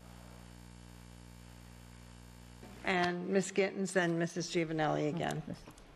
Okay, in my understanding, and I heard you say it, Chair and Mr. Pre Bruno, that there was a meeting with um, the superintendent, yourself as the chair representing us, and Mr. Williams, is this was discussed?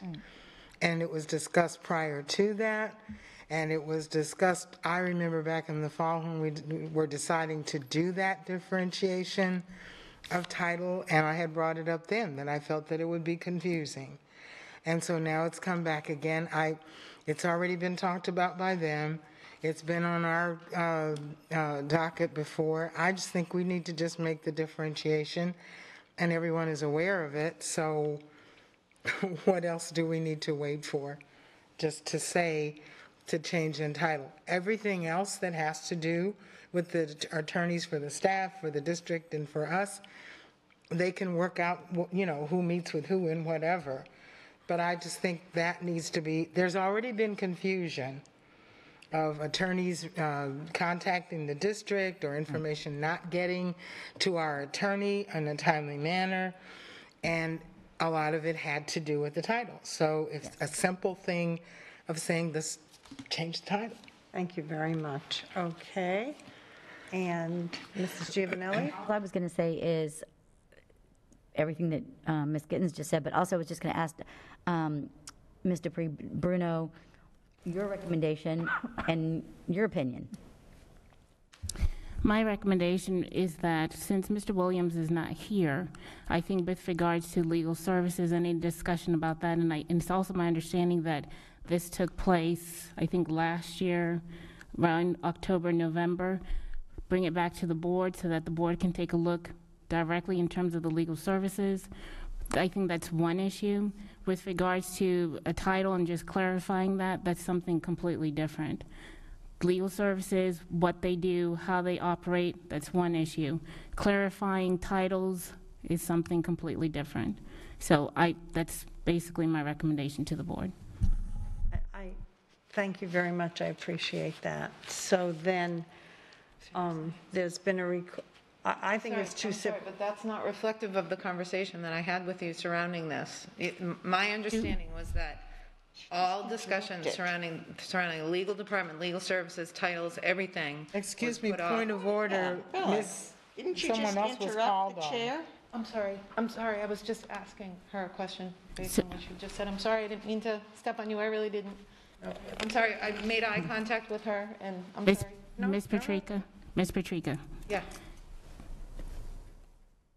with regards to legal services, the department, how it operates, how it runs, whether or not things are going well, whether or not um, there's savings of funds, anything with regards to legal, you know, legal services, I would recommend that we wait until Mr. Williams comes back, and then we can do a thorough evaluation for that. I have no issues with that whatsoever. With regard, and if you want to include the title in that discussion, that's fine as well. I'm hearing what the board is saying now. There has been confusion, and, uh, you know, it's up to the board what they want to do in terms of just clarifying the title issue. That's completely different. That's all we're talking about. And i- if the issue is putting general counsel with the school board attorney, if that's what it is, is the issue, and there's not comfort with that, that's fine. But I think having school board attorney and chief legal counsel has been making things a little muddy, and it has been confusing. So, I mean, that's, that's all I have to say about that particular issue. But I do agree that any other discussion needs to wait until November. And you can include, you know, adding or not adding general counsel to that in November as well, but I'm just saying that I think there's some confusion.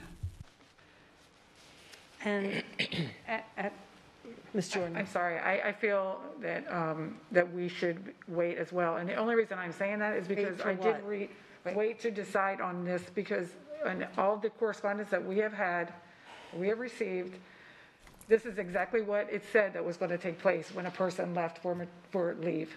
And I just think that, to me, that's, we need to have. Sorry, could you I'm very clarify? I confused don't about what understand you're what you just saying. We said. have received correspondence back and forth on this issue about the Yes. different names and what that looks like. And there has been some confusion. But at the end, when we received an email, it wasn't from Brian, but we did receive from Mr. Williams stating that when he goes away, that, you know, this is kind of going to take place, where we would, Excuse me? I'm, I'm confused. there was an email, Because I don't think I saw anything like that. I didn't. Yeah, if you, if you read back on the emails of things that went back and forth, it stated that when he goes away for leave, that we would take action on something. Things would be taking place. Now, maybe I misunderstood what I read, or maybe I just had a I- bad dream about this. Ms. Madam Chair, I do, I do know what Ms. Jordan is referencing. I, I do understand what she's saying. So given that particular, um, basically, there was concerns that board would take action on the legal department and legal issues while Mr. Williams was not present. Right. And I don't think that, I would not recommend that the board do that. I think that this has to be handled when Mr. Williams does return. So I, I do understand what Ms. Jordan was saying. And, and thank you very much for that, Attorney Bruno. I think you've been very clear about that. And, and I'm confused, and this is a perfect example of not all board members having the same information, because I, Everybody did receive, it was copied to everybody. Everybody's name was on it. Mrs. Uh, Ms. Gittens? Okay, to clarify, as Mr. Pre-Bruno said, we are talking about two different issues. We are talking about what Mr. Williams said in his uh, uh, email about making decisions about the, the way the legal department and everything is set up. And yes, I agree, he should be involved in that. This is not, the, the name or the title is not something, number one, he's aware, that he's not aware of. He met with you and discussed it. He is aware of that. He is not going to end up making the decision. We have to make the decision as the board. So there are two separate things here. We are not stepping over Mr. Williams and looking at and changing the title. It was discussed with him, it was brought up, it was, you know, it's documented, so it's something we do. The rest of all the discussion in that email is a separate issue that, yes, should wait for him to return. Thank you. Ms. Vaughn? Our task today is to review the protocols. Thank you. And don't we do this once a year and then, right? Okay, I'm not sure when it needs to be final, finalized, but I think just the title needs to align with what we're going to have in the future. If not, we're going to have this document wrong for the next year until we get back to it, unless we can do an amendment. Yes, uh, anytime there is a, a change to a document, we can make that change whenever, and I just send be out an done an updated version. That way, because it's, for most people, we access it digitally. Correct. Okay, so kind of as a compromise on this, because I agree, it should be with Mr. Williams here if we discuss that one, but since our job here is to revise and make it as accurate as possible,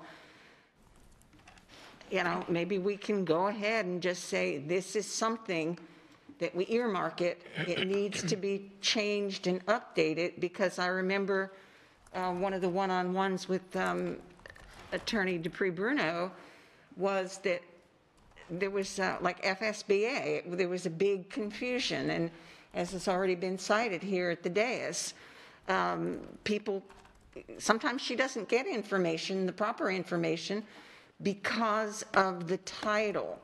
And that's all that we're talking about is, is a title. But if we can update with um, a revision on the title as soon as we can get to that, I I could live with it. I'd rather just do it now, but I could, I could live with that. Ms. Jordan? And I understand what you're saying, the revision, it's just a revision of title, but we sat here, uh, probably it was a year ago, that we had this whole conversation of what that looks like and how this title was, because there was several different options for us to choose from. And that's how we chose for it to be called. So May, we chose for him to be, have that title name. And then may I respond? Dr. Pruitt's when back you're there, done? and so she knows how that name, the names, can you please, am I correct in what I'm saying? But at the, So we did choose to do that. As a board, we chose to give him that name. So for us to take that back from him, we, that we do have to, to have this conversation because you just don't say, okay, you're not a board member anymore, you're going to be called this. We, we have to make, we have to have that conversation. Because we are the ones who said, this is appropriate, this is what, how it's going to, the, how it's going to look, you're going to be called this, this is going to be called this, and we're going to come down, and it's going to be a wonderful thing. And so we've had the conversation for almost a year. And really, I wasn't talking about taking anyone's title away. I was talking about adding general counsel. Right. Per what we do all over the state of Florida and per Florida School Boards Attorneys Association and FSBA, so that some of that confusion regarding our board attorney's ability to gather information and do her job representing us would be maximized. So my suggestion at this point is that we update her title now to include general counsel. The rest of it, they can work out at another time when they meet as a team of attorneys. Ms. Vaughn? in response to Ms. Jordan, that's true, but at the time, we had no idea of the confusion that would be generated. And so that's why what we said then, um, to me, needs to be revised. And we did not have an in-house school board attorney. We had a firm. Exactly. Ms. Gittens? And just for the record, no, I, I did not vote for that. And the reason, if you go back to the meeting, that I did not vote for it was just this conversation, that it would be confusing as to whose job was what. Thank you. Okay. At this time, so Attorney Bruno, for a a protocol change, all we need to do is have a consensus, right? To change it in the document, yes. But you'll need to have, at some point, you'll need to have a formal vote. Okay. So my recommendation would be when, at some point, if there's a discussion or a workshop on the legal services, at that point, you can make your final recommendation, and then you can go to the action meeting and have your formal vote. If you want to have a consensus today on adding the general counsel, you're able to do that, but that's just basically for the, for this document. Yes. You have okay. to, Ms. you have to look at the actual job description for a board attorney, and it has to be in that. Because that's what drives the responsibility of, of her job, not, not the protocol document. Um, Ms. Patricca? I was just going to say, this requires a formal vote of the Yes. board anyways, because it is a change of title on the job description. Okay. Uh, Could we Ms. do good of Ms. the order Giovannelli? tomorrow? I'm sorry. This is a workshop, so we don't No, have, tomorrow. Could we do a good of the order tomorrow and add add it as a good of the order? yes. Okay. So can we, I'm sorry, can we take consensus now that we will do that?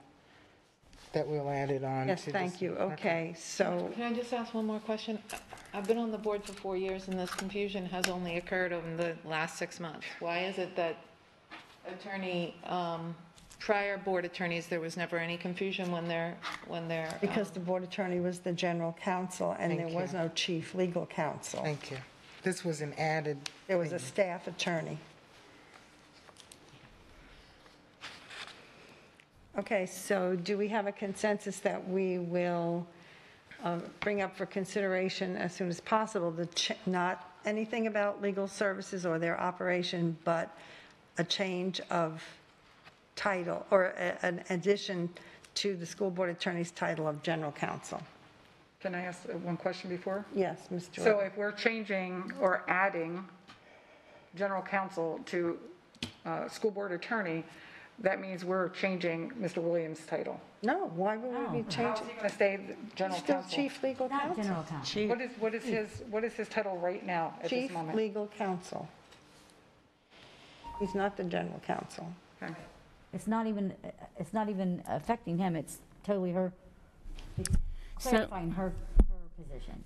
Board members, may I make a recommendation, honestly? Um, I would recommend that you hold off on this consensus, because by doing chief legal counsel and general counsel, you're basically the same position with the same responsibilities, the same title. So I think we need to flesh this out a little bit. I do appreciate the board willing to act upon this quickly, but I think that will add, believe it or not, additional confusion if we don't address the chief legal counsel part as well. So my recommendation is in November or October that we evaluate all of this and then come and make a determination so that roles and responsibilities are clear and everybody knows what they are supposed to do and what their function is. Because I think that just adding general counsel is going to make it a little bit more confusing, but chief legal counsel. Any attorney that does not know the internal processes and system of this operation will be completely confused. Thank you. Okay. Ms. Okay, so then, when Mr. Williams returns, we'll have this conversation and make, and make a formal motion and a vote. Yes, Ms. Gittens? Uh, Ms. uh, Gen- Ju- Juvenile is first, and then I'll go after Oh, I'm her. sorry. My only question is, when does Mr. Williams return?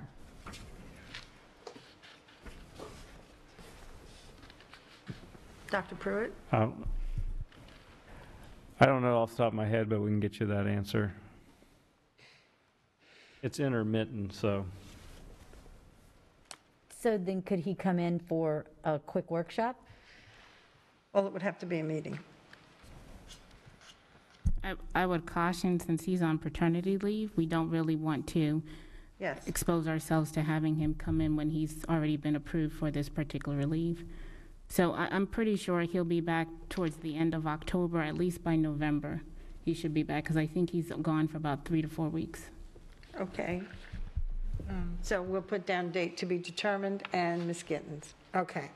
Again, so that everyone understands, when we had the meeting to discuss this in the first place last year, I believe it was Ms. Patricca and Mr. Williams both said, when I said, well, you know, this could be confusing, and their answer was that general counsel and chief legal counsel are the same, and therefore it was not going to be confusing it's in the meeting, you can go back and see it yourself. And the, I said, well, it sounds like it will be confusing. I don't know why all of the other attorneys that we've had had the designation and all of a sudden it was changed. That was my question then, that's my question now. So yes, I agree with Mr. P. Bruno. We can't just give her the same title because they're saying that they're, we were told it's the same thing. So that's where the confusion started in the very beginning. Thank you. Okay. So then we, we will um, take this under advisement as soon as we know when Mr. Williams will be available. Okay. Ms. Okay, thank you. So um, I will not change anything in protocol. When a decision has been made, we can easily go back and update the documents. We'll do that at that time. Thank you. The next item is board secretary, and that was just a suggestion um, f- for Susan's uh, exit interview, Ms. Johnson, that questions be asked of her for any recommendations. So I I don't know if that exit interview has taken place. I don't know. So Just not. So, uh, and Ms. Johnson has generally been very willing to, to help out since she's left. So if, um, if the board would like, I could certainly reach out to her and just ask her to give us some, some suggestions, um, some things that she found helpful that, uh, in terms of characteristics or specific skills that that person might need, if that's the type of information that you're seeking. Thank you very much. And board members? Okay, Ms. Gittens? Um, Since that subject is up, I think that it's, and tell me if it's not appropriate to bring it this time, in that we are hiring another secretary, and I was told that it's, it has not ever been done that the board or the current secretary gets to be a part of that process. I know that we received information, there were eight uh, kind of finalists, and then it was broken down to three. And I would like the board to discuss the fact that since we work, you know, integrally with that person, that we should at least have some type of, you know, conversation, not a hard, fast interview necessarily, but have some input on the board secretary, and that definitely our current secretary should be involved in that process. Normally, in other departments and schools in the district, when they are interviewing for a position at that location, they will have the people that will be involved on a day-to-day basis involved in that interview because they know, you know, the position and they know what the job is. So I'm asking to open that up for discussion.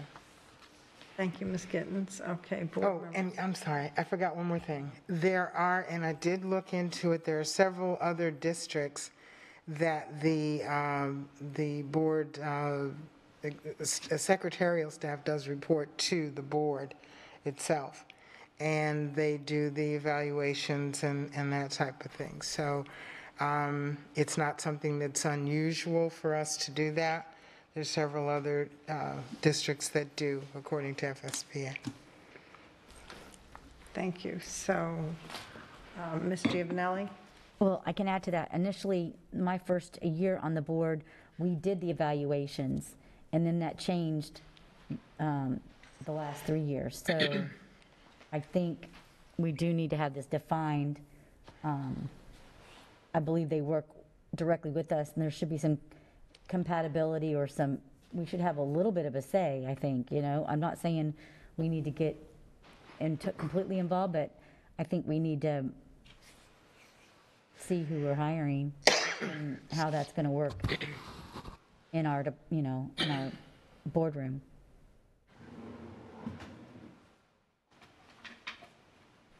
Okay, so yes, Ms. Pacheco? So I, um, I, I did conduct, uh, an, uh, evalu- evaluation of sorts. It wasn't an evaluation, it was where I believe Dr. Adkins' office requested feedback regarding job performance of, um, I the think sec- the difference is that, you know, the one year she was referring to, that, that staff provided her a copy of the evaluation We did a formal. instrument, and, and they did that. In other years, it's been where they've asked, just solicited comments. I mean, ultimately, the evaluation, the actual formal evaluation, I do, but I do it based on feedback from the board. So it doesn't matter to me how you want to provide that feedback. Um, It's just, it was really just two different ways of doing it, because I think you had two different people that managed it. One that provided you a copy of the overall evaluation. Um, As I recall, most people didn't do it. Um, And then others that just provided, you know, after that year, we just asked for comments. And, and again, I've provided those comments every year I've been on the board, and um, we, come- we come and go. As board members, we come and go. You know, the gelling of personalities is not essential to the function of the job with the board. I think that the, the fit in that office is more important than a fit with us. I- I'm, I, think that the fact that you shared um, resumes with us is about as much input as we should have in this process. They, the secretaries don't work for us, they work for Dr. Adkins. Those are comments. Thank you, okay. So, um,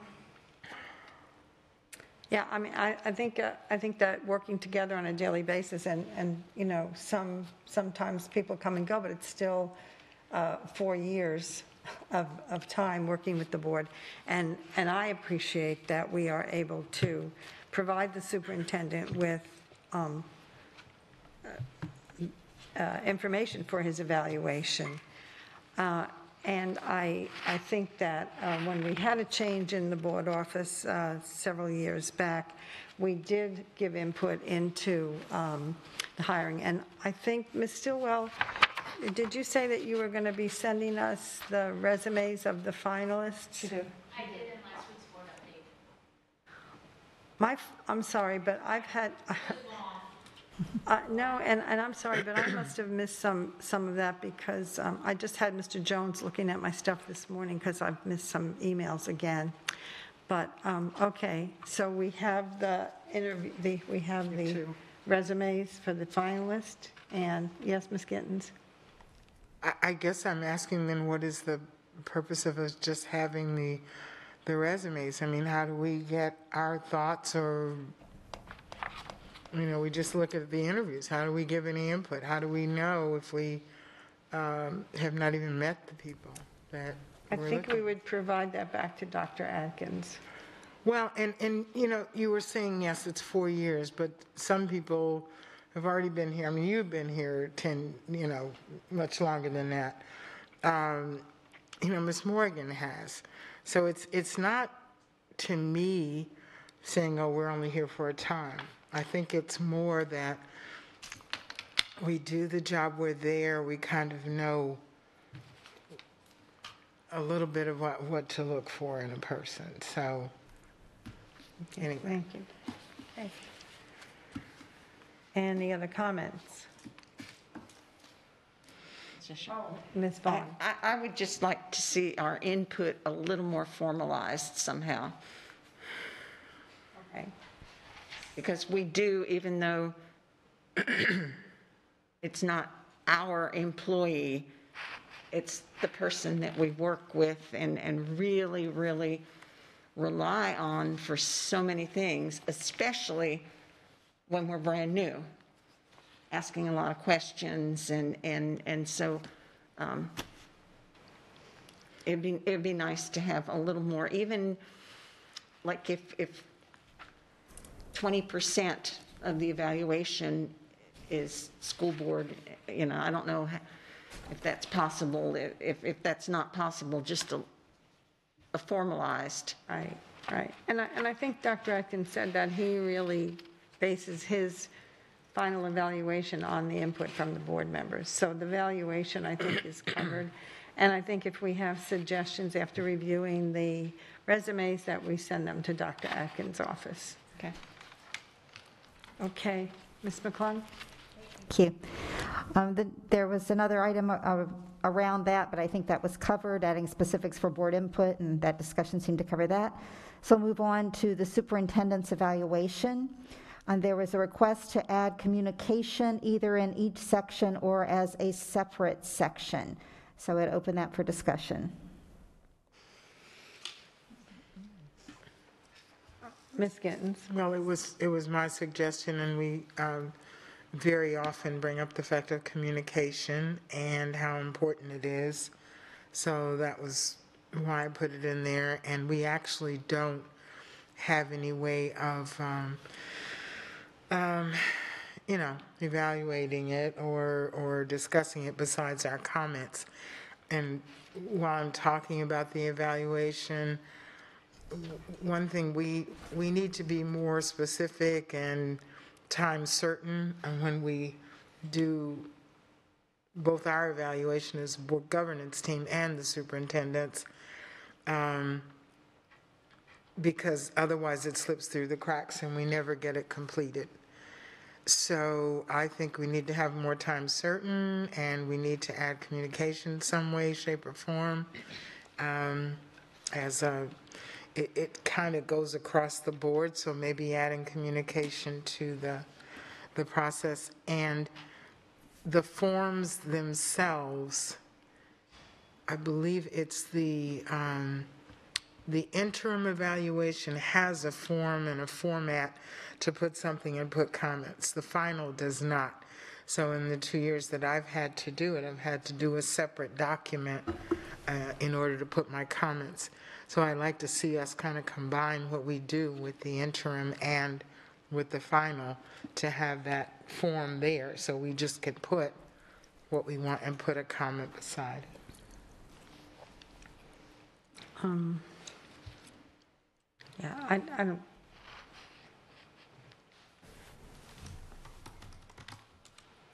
Are- Are you aware of what I was talking about I- on? I'm not sure that I understand what you mean about time certain. somehow we tend to, it gets pushed back or changed or whatever, and I think there's some wording that says it has to be done during particular time.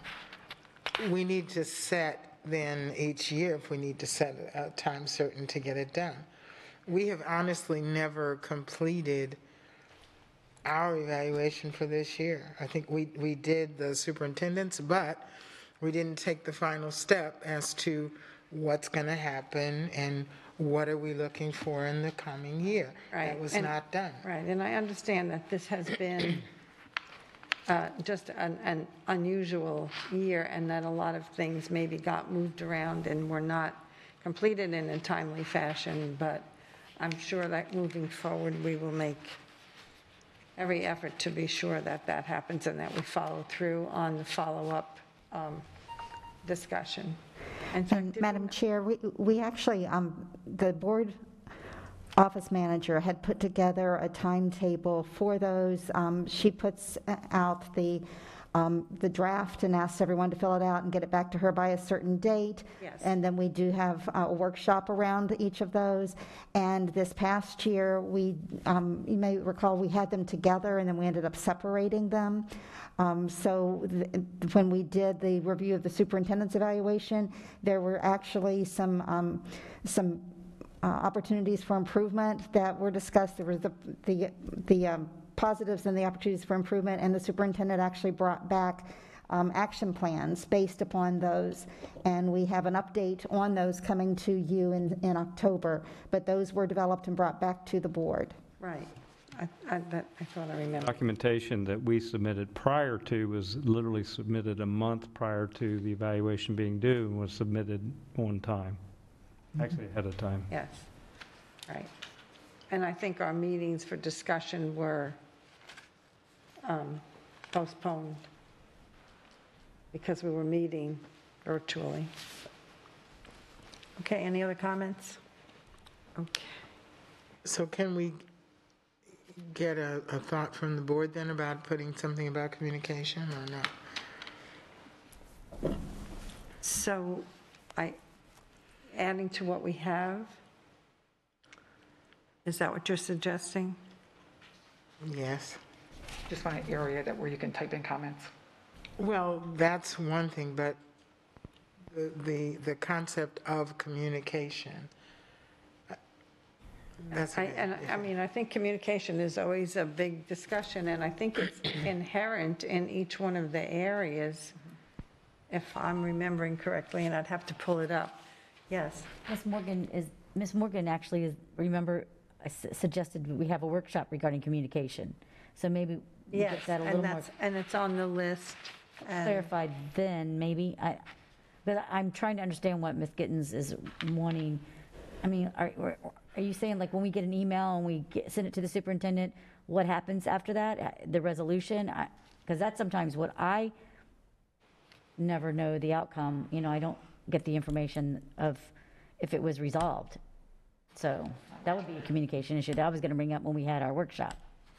Well, I- and I can bring it up at the workshop, but that wasn't exactly what I was saying. Okay. I was saying that, and I have spoken about it before, that communication seems to be an issue uh, on several fronts, and that's why I'm just saying if it was in there as an item, I, I know I usually bring it up in my evaluation, but I just add it as, this is an issue with this, and we can continue, I can continue to do that if no one else has a, Talking about a line item for that, but it is The actual in, it is evaluation, I within understand. those.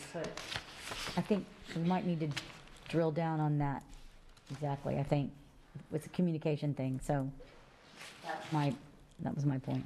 But Any other input, board members? Okay, thank you. Ms. Klung, would you please move on? Yes, ma'am. Um, Just, um, you had mentioned the communication for board and stakeholders workshop that is tentatively set for October 19th. Right. So the next item was the board attorney evaluation. I would suggest that we not discuss that until uh, the other discussion has been had. Um, If, in case some of these, um, some of the items around the job description change, then it would make sense to go back and look at this at that time. Is that okay? Yes, I think that's a great suggestion. Thank you for that.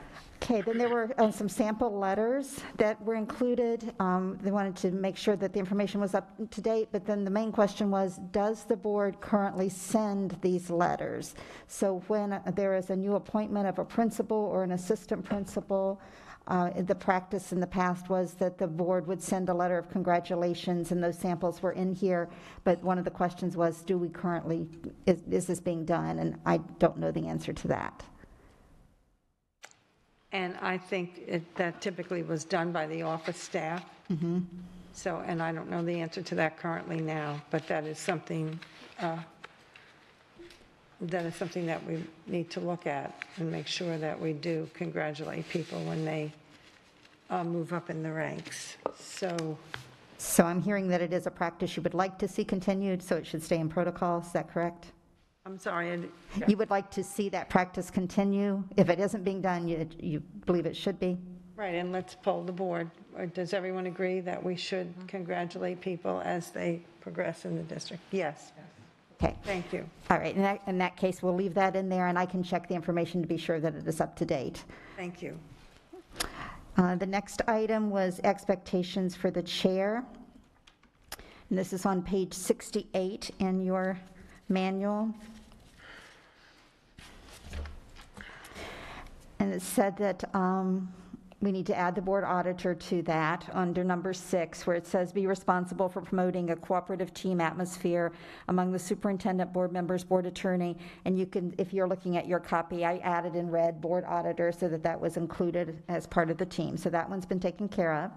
The next item was um, a request to reword number seven, which currently says, "The chairman is the servant of the group, not the master." Absolutely. So how would you like to see that reworded? I think that suggestion, whoever made it, is good. The chair works in conjunction with the board, not unilaterally. Board Is there members? agreement for that? Much more professional. Yeah, yeah, for sure. Yes, and I, um, That's probably the. Ms. Patricca? Great. Uh, Ms. Giovannelli? Okay, All right, Thank thank you. you.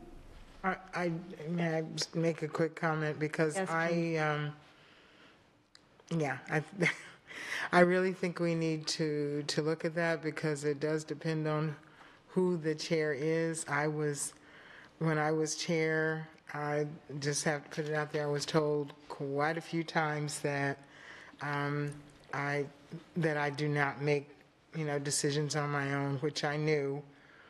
And a lot of the things that I'm noticing now the chair does is different than what I was told that I was allowed to do. So yes, we need to look at that and say that it's not unilateral. And I just, and I, and I think that's what we just agreed on, that Thank it's you. not unilateral. And, yes.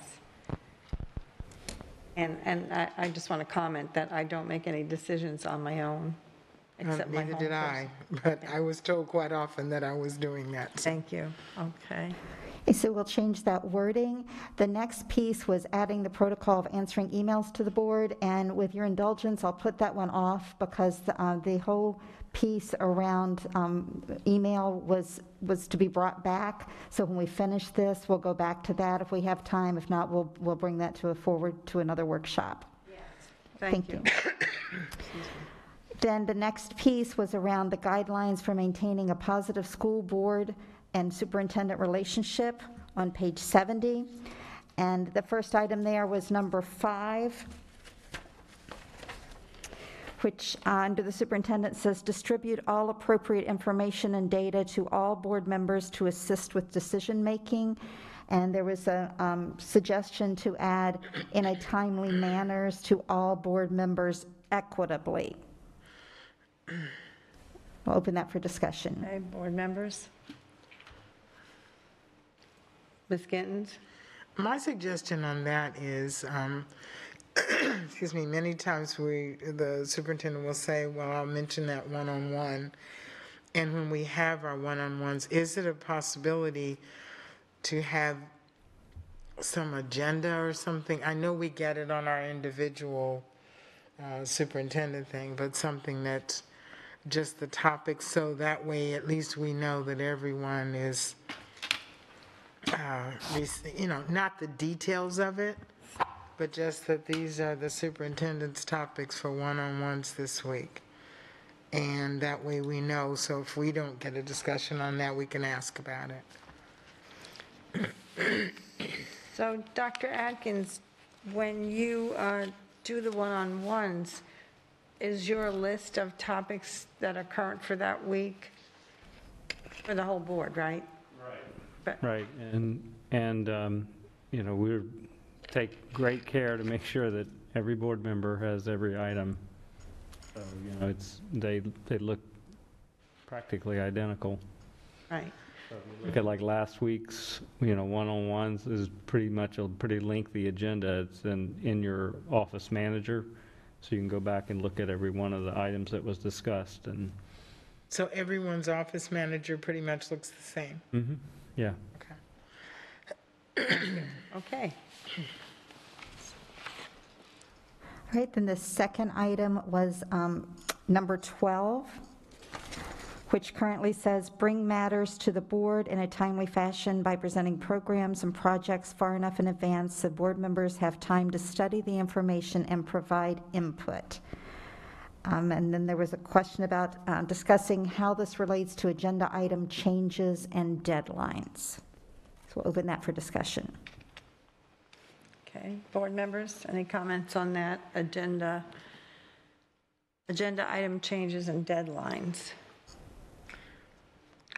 I, I think we've discussed that before, and I know I brought up before about having a, a, a deadline to get information. I know things happen, but people will not get in the habit of making sure they fulfill that deadline unless they miss it a couple of times.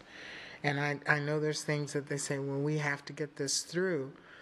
But it just seems very often that we do get things at the last minute or changes to, to the agenda, and then we have to, you know, say, did I see that, or did I not see that, or, and, Well, and, and I think maybe you're referring to things that come up as good of the order because it is no, not. not so much that as agenda changes, uh, or polls, or, you know, we, we get the, when something happens in board docs and we get the Yes. immediate, uh, and, and we will get those up until a couple hours before a meeting. You want to address that, Dr. Adkins? I mean, you know, like what would prompt that? Because I know things happen, and especially this past And, uh, yeah. eight months. Right. I mean, I think that the, if you look at the number of agenda items versus the numbers, that number of times that happens, I think it's really minimal. I do, I can tell you that we have been, um, you know, we've had some, some very you know, tough conversations with some of our department directors to make sure that they're making sure that they're getting the materials to their chief in an accurate manner, and the, the expectation that chiefs has, have is that they're holding those people accountable if they are, you know, making mistakes that have to be corrected uh, last minute, like you may see. So we really, believe me, I, I, people, my staff knows that I hate to get good calls items and I hate to do changes as much as you hate receiving them. And, It's and very, can I very just- frustrating. I think in a professional organization, you want to, I, I stress it, you need to make sure that you're proofing your work. It, you know, it should not land on your chief's desk with inaccuracies, incorrect dates and things like that, and it certainly shouldn't land on a board member's desk that way as well. So, um, you know, I hear you, understand I do address it, and we try to keep good causes to a minimum. And, and I know, I know when I, when I was chair and I worked with Jennifer, how frustrating it was for you and your staff to, to get that. And, you know, I appreciate you making the tough talks with them and saying that it trickles down when you make a mistake and everybody is affected by that. So, Thank you. Okay, Ms. McClung? And the next item was on the board Oh, side. Sorry. Ms. Vaughn? Yeah, I'm, I'm sorry, I didn't notice this. What happened on the, um, oh, are you going over on the board side now? Yes. Oh, I'm, I'm sorry, I thought you were moving on, because I was just going to ask what happened to number three. The, the- the last one is on the bo- board side, which says number 13 is too vague. It currently reads, "Channel any substantial requests for information or action through the board to the superintendent and should reflect the desires of the board as a whole." Was that the one that you were asking about, Mrs. Vaughn? No, but go ahead and do that, Okay. and I'll come back. Okay.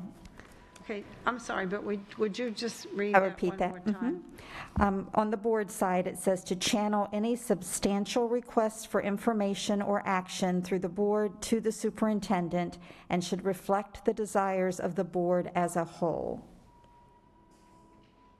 Yes, okay, board members' comments on that or clarification? Am I the only one speaking up? I guess.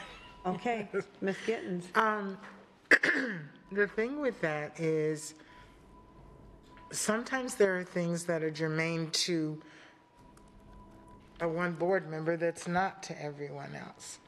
And it, it's important that they, you know, would like to get that information. And that if every question that we have that requires something, the board has to say yes or no, you can't get it. I don't think that that's equitable in that we are all, you know, public officials, and if we would like to get some information, I, I- it's difficult leaving the fact that I need a question answered or I need something done to bring it to the board for them to tell me yay or nay, can I get that information?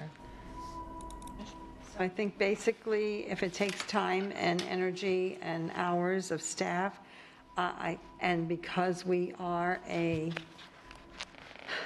a, a team, a body, and that none of us has any uh, authority unique to ourselves, but we are to act as a group, a cohesive group, that, that is, that it is kind of the rule, is that the board, the majority of the board has to say that this is important in order for that information to happen. And what is the determination that if I ask for something, is it staff or the superintendent's office that decides this is going to take too much time, you need to take it to the board? Or at what point does that happen? It's an estimate of the amount of time it's going to take staff to track it down. If it takes more than an hour and a half, it comes before the board for a vote. It's in our protocols, is it not? Yeah, Ms. And, and, sorry. Sorry, no, please, go And- ahead. And I, this is a little counterintuitive to me, given the comments made earlier about the superintendent sharing information equally with every board member. Um, This feels a little counterintuitive to me. That, that's the first thing. The second thing is, we don't act alone. Like, if you need a data request out of, um, to support your initiative and to move forward with the initiative, and that's going to take more than an hour and a half, you come to the board, I'm a- all thumbs up. But if an individual board member is going down a rabbit hole that the rest of the board does not agree should be pursued, then, then that's where the, the, we make a decision as a body. So I- I'm very comfortable with the rule as it is. Okay, Ms. Giovannelli? I- I just would like to ask the um, board attorney, what is the law regarding um, that? And getting information as an elected official and doing our job and oversight? So the board does act as a collective body, and it does, it's supposed to be able to move forward, you know, jointly, not individually. I think the rules that you have in place now with the one hour and a half in terms of time, depending on what the board's pleasure is, Um, That's up to you, how you want to set that up, but in terms of actual getting additional information, things like that, the statute says that you act collectively, not individually. So that is what the statute says. Thank you. So, Ms. Gittens? Well, I, and I brought this up before, I did receive, I, I don't recall if it went before the board. I believe it did, but anyway, I was given, I guess, permission to get the information, but then was charged $72 in order to receive it, in order for them to do it. And I, I don't know where that decision came in. Is, does, does it say if it takes over an hour and a half, then there's a dollar amount and board members and everybody have to pay to get information? I'm going to defer to Attorney Bruno, but I was not aware that as board members with doing business of the board, that we would be charged personally for uh, that. I think that was the conversation, though. If it, is it personal or is it the board? I think that's where that came Well, into play. with Anything that we're doing here that requires information from the district should be business of the board and, and for the district. I think that's what And it was, no, it, it had to do with, I wasn't asking, I don't have a child in the district asking for something. It, it had to do with board business. But I was told that, um, I would have to pay seventy-two dollars in order to get it. So I'm, I'm imagining that was through a public records request? That's the only way I could see that there be a bill. I know that this was something that we had talked about before, and this is part of, you know, this process of figuring out your protocols and your processes, how you want to handle this. The statute does not discuss you know, when board members can request records, how much they can be charged for. The statute says that board members are entitled to have whatever documents that they need in order to do and conduct their business. The statute also says that board members are not individuals, they must act collectively. So this is why you have these processes to try to determine your internal controls and your internal processes, how you want to move forward with these types of distinctions. Thank you, Ms. Bruno. Board members, any other comments or? Okay, yes, Ms. Vaughn. Comments on that or the other things from this, this side? Okay, a- anything that we are discussing this afternoon? Yes. Yeah, all right. Um, Okay, so under school board, where, what happened to number three? There's a blank here. That's a great question. Okay, It's, uh, It looks like a a copy and paste error, so I will go back and look for that. all right. Um, The other one, and I, I didn't notice this or didn't think about it before, going down to number 14, um, avoid surprise items at board meetings. I'm wondering, and I hadn't really thought about the verbiage here, but that just sounds a little unprofessional, surprise items, like, like we're giving a surprise party or something.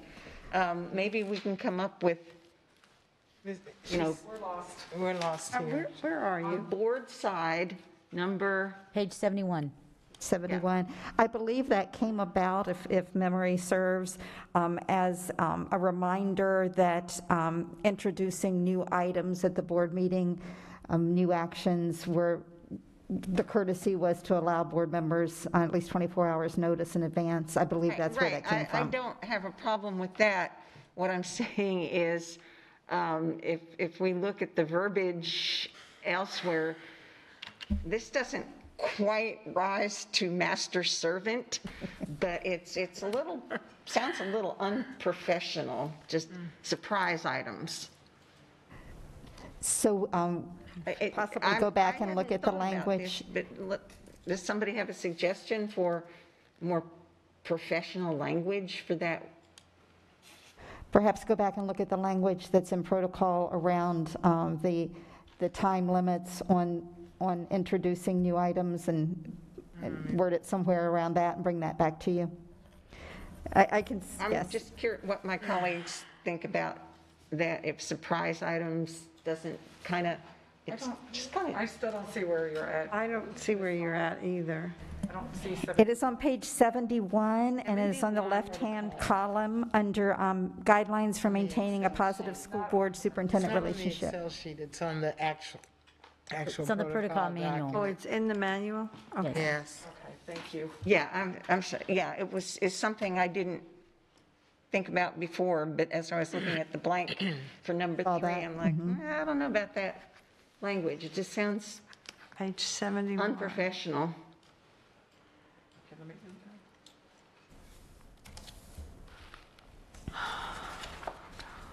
Maybe, Ms. Dupuy Bruno, what, how, could we say something like that, keeping the, the concept of this, but maybe making it a little more specific? What is a surprise? Yeah, here, Okay, I have page 67, and then it goes right to 77. And I believe you may be looking at the old manual, the one that was in the items today is the new one. That was, I mean, it was in last week, but you may have pulled up the one we used Yeah, before. I'm Let me looking if I at can pull whatever up was here. on today's board docs. Yes, She- it's on today's she's- board She's doc. actually on page 69 of the manual. Yeah, it Which says is the 71 subsection at the H. bottom of this. Which talks It about may the have avoid shifted, surprise items.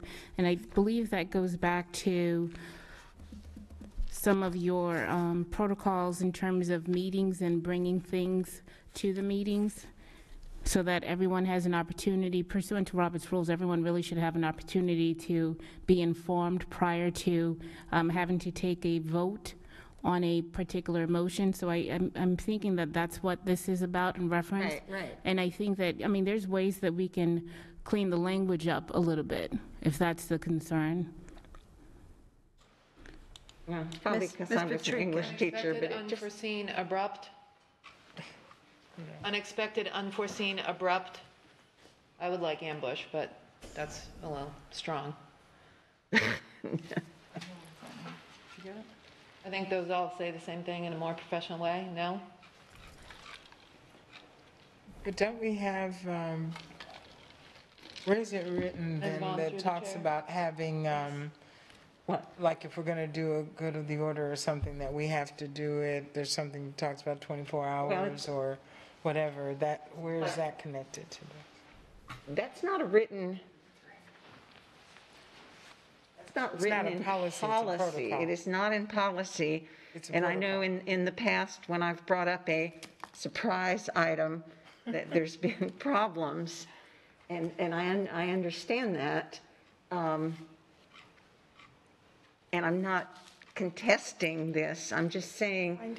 Or, I, I mean, I can live with it, but I just thought maybe a little more Down to page, specificity with what is a surprise item? I think, I think this is really referencing things that come up. Um, For example, if there is a, an issue that has come up, board members may not be aware of, and then you go to a briefing or an action meeting, really an action meeting, and it's brought in during good cause, I'm sorry, good of the order for a motion on a particular issue that perhaps board members were not prepared for. Yes, I think that's what this is referencing. Yes, yes. So we have to balance that with the fact that sometimes there are things that happen that are, you know, we can't prepare for. Something that happened that day, you do want to bring it up. So there's a balance there. that's it. So avoiding to bring matters that are not vetted prior to. Or provide board members with um, motions with adva- as much advance notice as possible, something along those Something like- lines. That sounds good. Okay.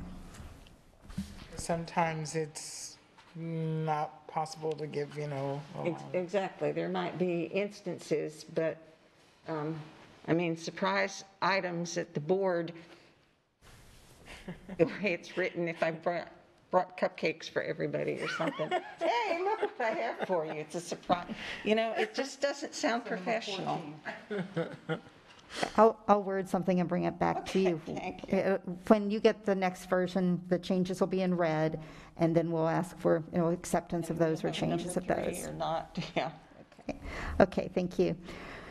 Uh, Moving on to, um, the next item is the self-evaluation form for the board members. The suggestion is that um, perhaps the board self-evaluation item could be in the same format as the superintendent's evaluation to provide for more clarity. So we'll open that for comment. And that was me again. Board members, That was me again. Ms. Ms. Gittens? Uh, I I don't, know. I guess formatting and forms, it just, to me, makes it easier if the layout of the form is, uh, employees all have an evaluation format form, so why can't we have one for the governance team that looks the same so that there's not as much confusion? And that's where I was talking too on the superintendent's about having the one on his um, interim that gives very simplistic and it has a column, you can add comments or whatever. Why can't we use that each time? Because I, I don't, I don't know how professional it looks for us to do an evaluation and then have a separate document that looks different from everyone if they choose to do it. Um, So that's why I'm asking. If you look at his interim evaluation, the form that's used, Yes. that's what I'm talking about. Yes. Okay, board members, any comments? Additions?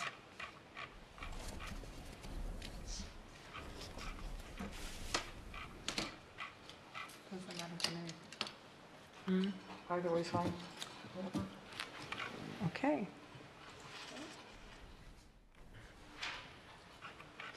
So your suggestion is that we use the, the format that we have currently for the interim evaluation with each evaluation? With each uh, evaluation. And including the uh, governance team, or the board evaluation, self-evaluation? Okay, so then, I'm just looking for comments or input from other board members or the board attorney.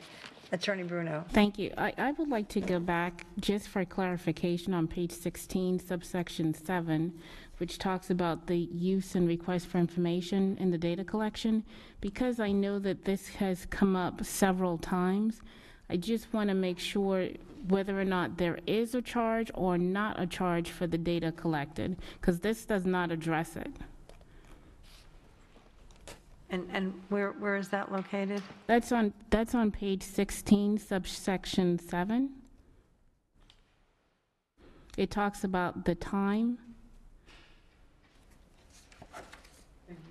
I guess, I mean, it does say, or require any expenditure of funds, but we, I think the board needs to flesh that out a little bit for clarification and also for um, staff purposes as to what is chargeable, what is expenditure of funds, what is required.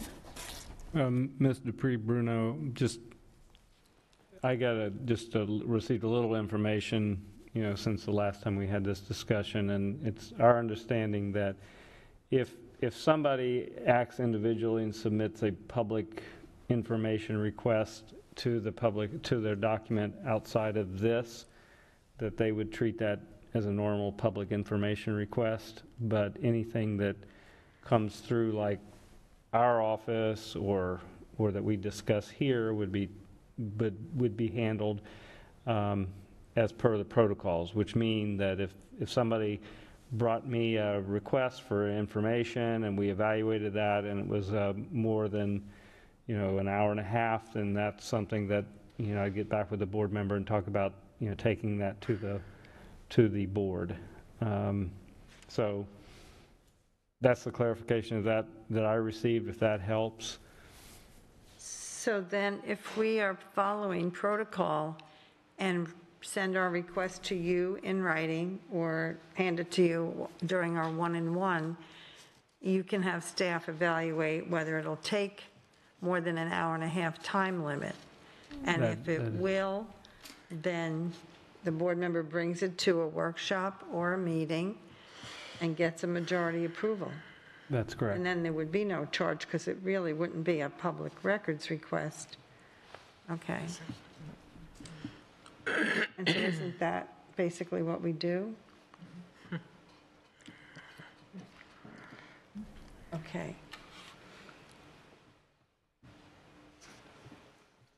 Can I ask, um, the, in this policy, is the superintendent's interim evaluation instrument? I'm not seeing that. It's immediately following the regular superintendent's evaluation, I believe. Let me find it for you. That's what I was looking for. That was around 50. It's on page Five, 51. um,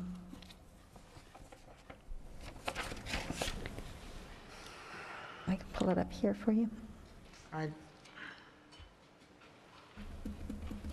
Okay.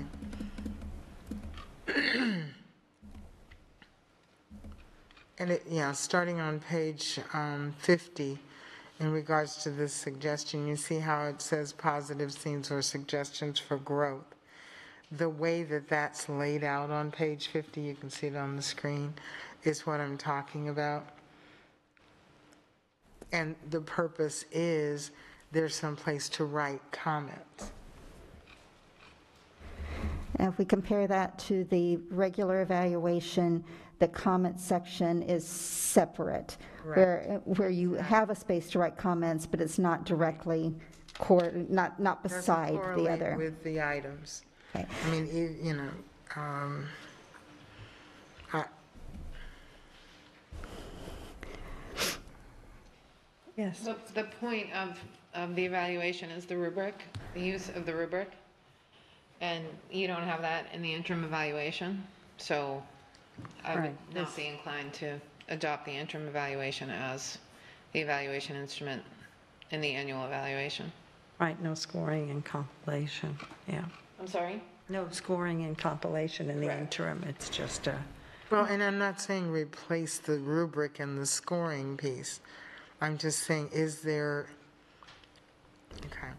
Let me under, make sure I'm understanding. I, my, my thought was that you were asking for a modification of the format with the rubric to include an additional column beside the rubric number where you could insert Exactly. positives and, and Yes. opportunities. Or s- Plus or deltas, comments or basically, or something. comments. And it's not in the final rubric at all.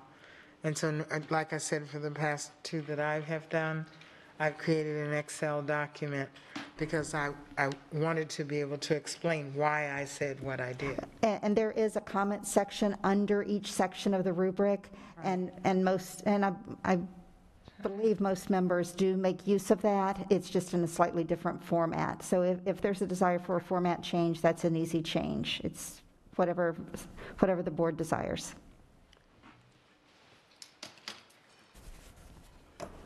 Okay, board members. So it would be moving that comment section then to the right of the rubric where the um, highly effective, effective, et cetera, is. It would be adding one more column and taking away the comment section on the bottom of each page. Okay, yes. I- I Ms. personally Jordan. like the comment section on the bottom only because you can put the number down there and write long ways across. If you have a little square to write in, it's going to be more difficult, I know, for me to, to try to shove all that inside of a little box. That's my personal opinion. Okay. Ms. Ms. Vaughn, Yeah, that's, that's how I've done it, just mark, you know, like The it's number. 2.02 and then. Okay. It's easier. We, we do have, or is it just an understanding or is it actually written somewhere that anytime we give, let's say, um, a five or a one or something like that, that we, that That's in the directions, yes. it's in the directions, good, okay. And, and that, I don't know that we always follow that, but I think that's an important Agreed. point, that the very top and the, and the bottom should, Have a rationale. should have a rationale, yeah. Thank you. Any other board member comments? No, okay. Then, um, let's see. So I'm hearing there is not a desire to change the format. Is that correct? Okay. I, I don't, Not a consensus, okay. Okay, the um, the final item was actually added um, this, yesterday, the board attorney uh, called and- and asked if we could add one item to discuss about the, um, the use of resolutions at board meetings. Currently, um, there've been a couple of different methods with resolutions. For a while, uh, they were not read, and then uh, we had students reading resolutions. Uh, Sometimes groups would come forward if there was a resolution that pertained to a specific group. And so um, there is need for guidance on how you would like to proceed when there are resolutions before the board at an action meeting. And I believe um, the board attorney has some recommendations around that. okay. So the recommendation would be that for the resolutions, that there being an acknowledgement versus reading the entire resolution. There was also a recommendation to avoid any issues with multiple groups that may be impacted by the resolution, that it's not specifically provided to a particular group. So those are some of the thought processes, and we just need some board direction in terms of how you want to handle the resolutions. For now, there won't be any groups coming into the boardroom because of COVID-19, so, but still, we, we need some guidance for after COVID-19 as well. Okay, board members, any comments? Or suggestions regarding resolutions? I'm, I'm not quite sure I'm clear on what this comment is asking. Are they saying we just acknowledge it by saying it's, you know, such and such month, and that's all we say? It could be a little longer than that, but in lieu of reading the entire resolution, it would say, for example, um, this is Black History Month, eh, you know, established in such and such time, and we celebrate Black History. Very, very simple, versus, you know, the complete reading of the entire resolution. I, I think I can, I can live with that part. um, But the issue of not having people here to represent, uh, I'm kind of on the fence about that one. I think it's not necessarily not having people here, it's more so who will be receiving the resolution.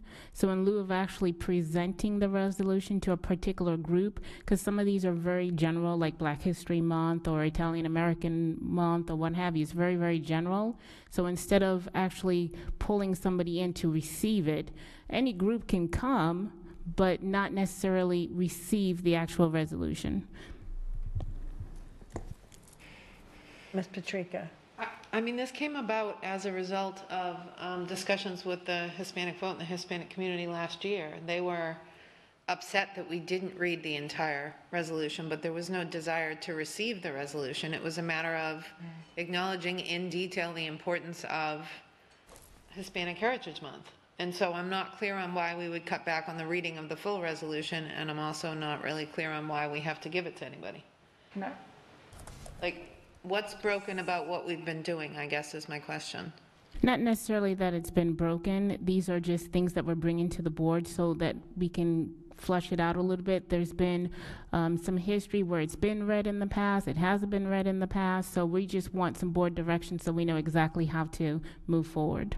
So I guess my feedback would be, what we've been doing for the past year has been working, I think. I mean, obviously, we don't have a student here, so whoever's month it is reads the resolution until we have students back, and then they, like, if it ain't broke, don't fix it, and from my estimation, this is not broken right now, so.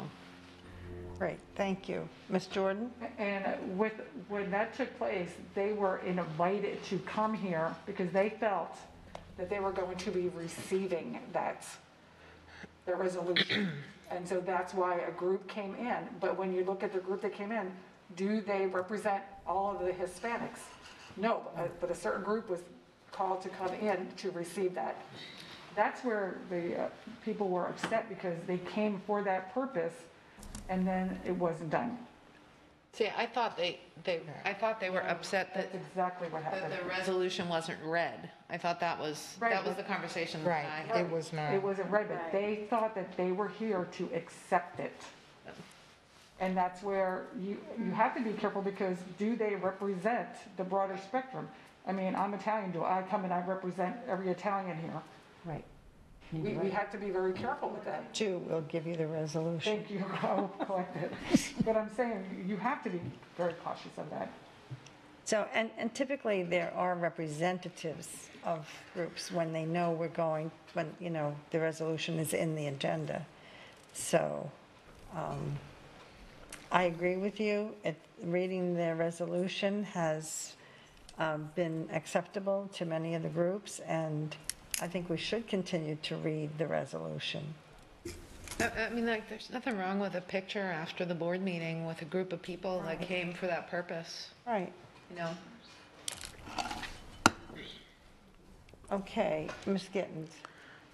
Just a thought, since we're student-driven, what if we're representing all the different nationalities of students that we have?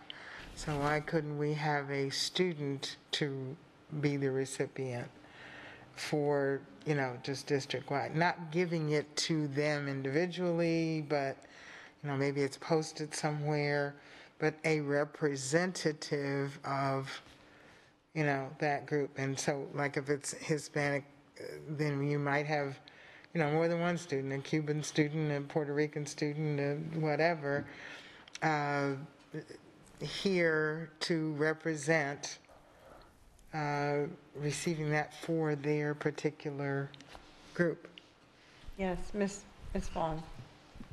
Why does a group have to receive it? Because, for instance, Hispanic, there are huge differences among the Hispanic groups just in Lee County. And it's the same with blacks and, and all of the other um, recognitions that, that we do.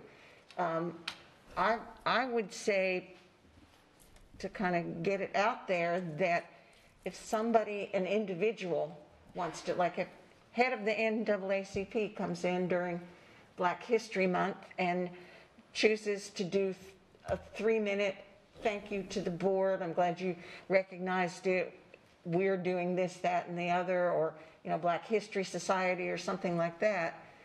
But you know, if we choose a particular group to receive, that's just going to cause problems because we And- have so many groups. And I think that's what Attorney That's Bruno what was saying. saying. Yeah, yeah, to receive. The other thing that I would like to see is a list of the, um, the various proclamations that we do. You know, there's some huge areas um, of, you know, such and such month, such and such week, or, or whatever, you know, but um, I think we also have to be really careful, and, and we need to be looking at our population here at, um, for instance, you know, I'm on the Haitian American Board. I don't think we had a, a recognition that it's Haitian Heritage Month and, and, and it's huge to that segment of the population. So, um, I, I really would like to see, do we have an existing list of every year we recognize it's We, we do, Ms. Vaughn, we do have a list that has pretty much um, a comprehensive list. I don't know if Haitian uh, American Month is on there, but I know that it's very comprehensive and that we have worked with the Diversity and Inclusion Office, Mr. Eady, to make sure that we are as comprehensive as possible. So we can give you um, just a list of all those different things, but we do have them. But we also do, in the past, we've done weeks, right? It's such and such, like Mental Health Week, or Yes. the one that always, I always laughed at for high school teachers was um, Sleep Week. whatever it's called, the Get Enough Sleep Week or something like that. I always found that very ironic, but, um, Smoking, yes. Have those as well. We have the Mental Health Month, the Nurses Week, the Bus Driver Week. We have all of those as well. I, I know we do, but we, can maybe we evaluate what we have? Because we really don't know what's coming up until it appears. I mean, um, Ms. Fischer, do you get a list like, I I don't get a list, year? but um, I I know that um, our diversity department has a list, and our board secretaries, to my knowledge, had a list because they would prepare the resolutions and the right, proclamations. right, right, but not all of them have to do with diversity. Some of it. Not it's all of them have to do with diversity, right? other issues like the mental health and, Right, and for instance, next month comes up Red Ribbon Month, so, and then we have a, uh, the coalition does typically have an event here in the boardroom uh, in- on an evening, so, and that's separate from board meeting, but, yeah. So, um, and Ms. Patricca and then Ms. Giovannelli have comments, and then I'll turn it back over to Doc, to Attorney Bruno. So when we first discussed doing this, we had agreed that Mr. Eady would determine which ones were read out loud on a monthly basis. Um, We do have stuff occurring every week, but, but we were relying on his expertise and his contacts in the community to determine um, which proclamations or resolutions, or whatever we call them, were um, most reflective of the population of our student body. And I feel comfortable continuing to rely on Mr. Eady for that guidance and having those items placed on our agenda in accordance with his guidance. Right. And, and, and I, and I do agree with, I do agree with that. And Ms. Giovannelli? My only actually question is, should EDAC be involved in that determination, which he is on that, um, you know, he guides it, but I mean, EDAC is supposed to be the diversity, and I think we, I agree with Ms. Bruno Right, that, but this goes beyond, I mean, we have other organizations like the Exactly, Drug Free I- Coalition, that's not a diversity issue, but Right. it's important to the but community. that's why I agree with her, that we need to make that decision. Well, I, I will just clarify that the list that we have actually has been thoroughly vetted by Mr. Eady and those in his office. So those are the ones that he has determined are, are the ones that we really do need to recognize. Okay. Good to know. And so then maybe the board can uh, look at the list and um, that's, approve it. Yes, Ms. Vaughn? that's, that's all I'm ask, asking for because um, I, I really don't think Haitian Heritage um, Month, I, I don't think it was recognized last year. I can't remember it being recognized. And um, they're our second largest um, ESOL group. And, and so, you know, there may be things, I'm, I'm not trying to undermine what Mr. Eady does. He does a great job, but um, we all have our contacts within the community, and I, I think some of it just needs to be, you know, I'm not asking National Spaghetti Day or something, I'm just, although it's important, ice cream week or something is very He's important. going to say food. So in terms of protocol, what I, what I believe I'm hearing in terms of protocol is that the, um, the practice that's been in place for the past year of reading the proclamation or the resolution will continue. There um, will not be specific groups invited. There's nothing that is actually being handed to anyone. And then, uh, aside from protocol, the board would like to see a list of, of groups and days and topics, maybe is a better word, topics that will be on the resolution list. Is that correct? That, that's my understanding to this point, Ms. And Why Jordan. can we not, um, because we do want to include the students, why can we not have them, even though they're not necessarily here, just like we're doing with uh, people coming and doing the invocation, perhaps participate in that manner so they're, they feel like they're engaged with the students? Okay, and, and I think, you know, that would just mean uh, someone at the school, you know, choosing the student and either videotaping or, Because do we not have their advisory, do we still not have the student advisory? well, we, That's another thing I was going to bring up tomorrow, but, yeah, okay. Uh, We do still have the student advisory, but we have not reactivated because we have children doing virtual and, you know, face-to-face, and so we have not been able to uh, come together with that. And then frankly, without Susan, uh, it's been a challenge. Okay, so, yep. So Um, So Attorney Bruno, do you have some final comments, or? So one of the issues with the, the students that at this point, because of social distancing, we don't have any space to put them on the dais. So that was one thing. I think that once we are alleviated from the COVID-19, then we can look into a process to see if it's feasible to have students represent the group. So Right. I can bring that back to this committee to Right, discuss. And I think Ms. Jordan was suggesting that maybe they do a video tape or uh, a ca- call. So- Yeah. So th- that may be a possibility. We'll have to look into it. I can tell you that right now that we're evaluating how we can do our recognitions that include students because we want to make sure that we have parental consent and we have all of those things on file. So it does add an extra legal layer for us to go through, but we'll look into that. Thank you. Okay. All right, Ms. McClung? All right, thank you. We do have one last item that we needed to go back from last time, uh, and this was looking at the policy for correspondence. So that is on page six.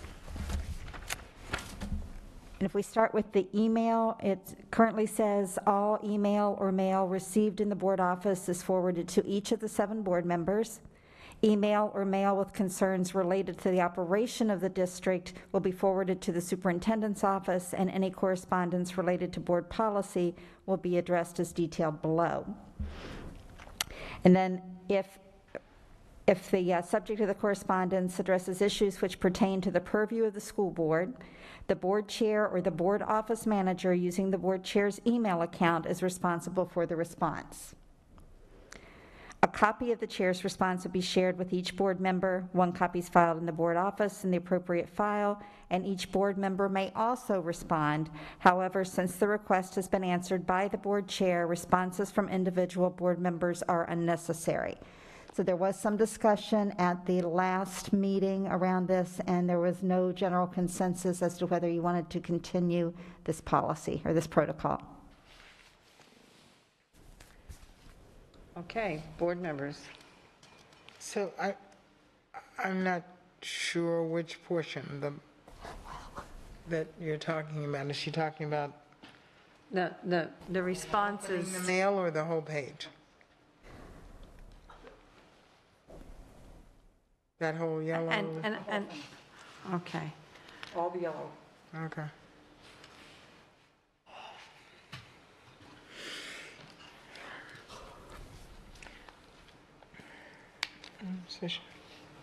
Yes, Well, I, I will say that on the standard email reply, um, I believe we all use it with caveat that normally I will say something else as well, not just give them that. That's just me because um, people hate to feel like they're just receiving a, a blanket, you know, stamp. So I just normally say something, you know, to them personal, and then say the part about the superintendent. right. will Well, answer. and, and I think there were a couple of issues. One was that sometimes you can't tell if it went to anyone else. Right. So, I mean, I think that people, when you know it's from someone in your district, you respond. Um, I- I- At this point, when we had the whole COVID thing, uh, we had um, the um, board reopening email, so we forwarded a lot to that. Um, I, I try to answer those I can if Latanya doesn't get to it before I do. Um, And so, uh,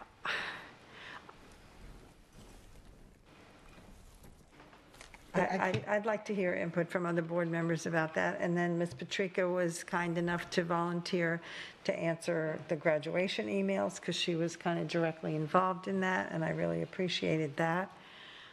um, Ms. Jordan? I, I think if it has my name on it, personally, my name on it, I will respond to that because it does have my name on it. So I want to make sure that they understand that I, I hear what you're saying, thank you very much, and if it needs to go further, then I send it to whomever, so that way they have the information. Uh, and I, I do see, and I do appreciate a lot of times when there are maybe three or four, uh, names on an email, that it is forwarded to all of us, because then we're, that allows us to be engaged and to understand when it comes before, when a question comes before, um, all of us, then we have that information and that background, because we have, uh, been given that, uh, information. So I I do appreciate that as well. So, um, Attorney Bruno, is there, are there policy implications with correspondence? Repeat what you said, Madam Chair, I'm sorry. I'm sorry, is there a policy implication with correspondence? No, it's pretty much just addressed in your um, protocols and your processes. Okay, so, I mean, I think it's good business to respond to the public when they email us for certain. And, I mean, I'm comfortable with board members when it's an issue that they're familiar with or they get to it first and their name is on it and maybe they can't tell others, just as long as we are all copied so we realize that it's been responded to. So the only, the only caveat that I would put out there is that, remember, the board acts as a whole and not individually. Right. So whenever you are sending an email out, we need to be very careful with the choice of words and the language, so it does not appear that this is a unilateral decision that is being made by one board member. Right, and, and I mean, I think the common, uh, to, res- to send it to the superintendent and staff for specific answers is good, and copying the board members allows us all to know that it has been responded to. And, and another suggestion, Ms. Gittens? Well, the question is, and I recall what we were talking about before, someone can send, some people will send to the board, and each of our names will show up there. Other people will send it to the board, sending it to you and you and you and you individually, and hit it seven times. Copy. Okay? So I get an email, it says Gwynetta Gittens from, you know, Jane Doe. I don't know whether Jane Doe has sent it to the superintendent already or to all of you or what. So that's the, the technical piece that, that makes it a question, because then I'm thinking Jane Doe only sent it to me. So I respond to Jane Doe and I say that I will send it to the superintendent. Now the superintendent's getting, you know, she does that to everybody. He's getting seven copies saying, we're going to send it to the superintendent. And I, I don't know how to resolve that, but, um, Under current, pol- uh, under current protocol, that would be resolved by forwarding it to the board chair, who would then send it either to the superintendent or would reply to it. And that- that's what policy is currently, that if it, if it has purview of the district business, then it would be forwarded to the board chair for a response, and everyone would be copied on it. You could also choose that each individual member responds and copies everyone, and you would see if someone else had already responded to it. So uh, basically, the decision is, do you want to respond, bless you, individually, or do you want to forward to the board chair for a group response? no, I mean, I, if, So I don't, I mean, maybe that's something we need to discuss a little further, because should it go to, then to the board office, and, and I think we have a, a- it's board superintendent, um, the secretaries, that, that kind of centralizes it. But that's a different one. It can go to board office, or it can go to all of us on one email, or Right. it can go to each of us individually on an So maybe email. that needs to be streamlined, and I'll tell you that the number of, well, I don't have to tell you, but the number of emails is uh, a lot more than it used to be. Yeah, so.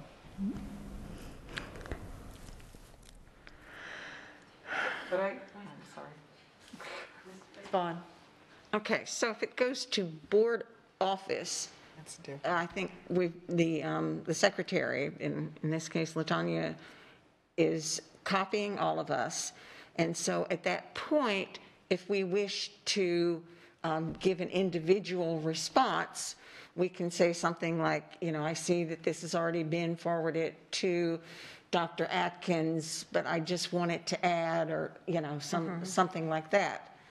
I think if it comes like individually, um, you know, we can, whoever answers first, if we copy everyone, Yes. um, unless we have something specific we want to add that we will have already known, so that maybe the superintendent's office doesn't get seven, maybe only two or three, something, something like that. But to me, if it comes to the whole board, what we were talking about was, you know, sometimes I don't, unless it's an issue that's really close to my heart, I don't answer it. If it's, you know, something that we, we're getting a lot on the same topic, and I figure, okay, well, the board chair is going to answer it. Now, when we had the graduation things, when we had um, opening or not the schools, and when it's,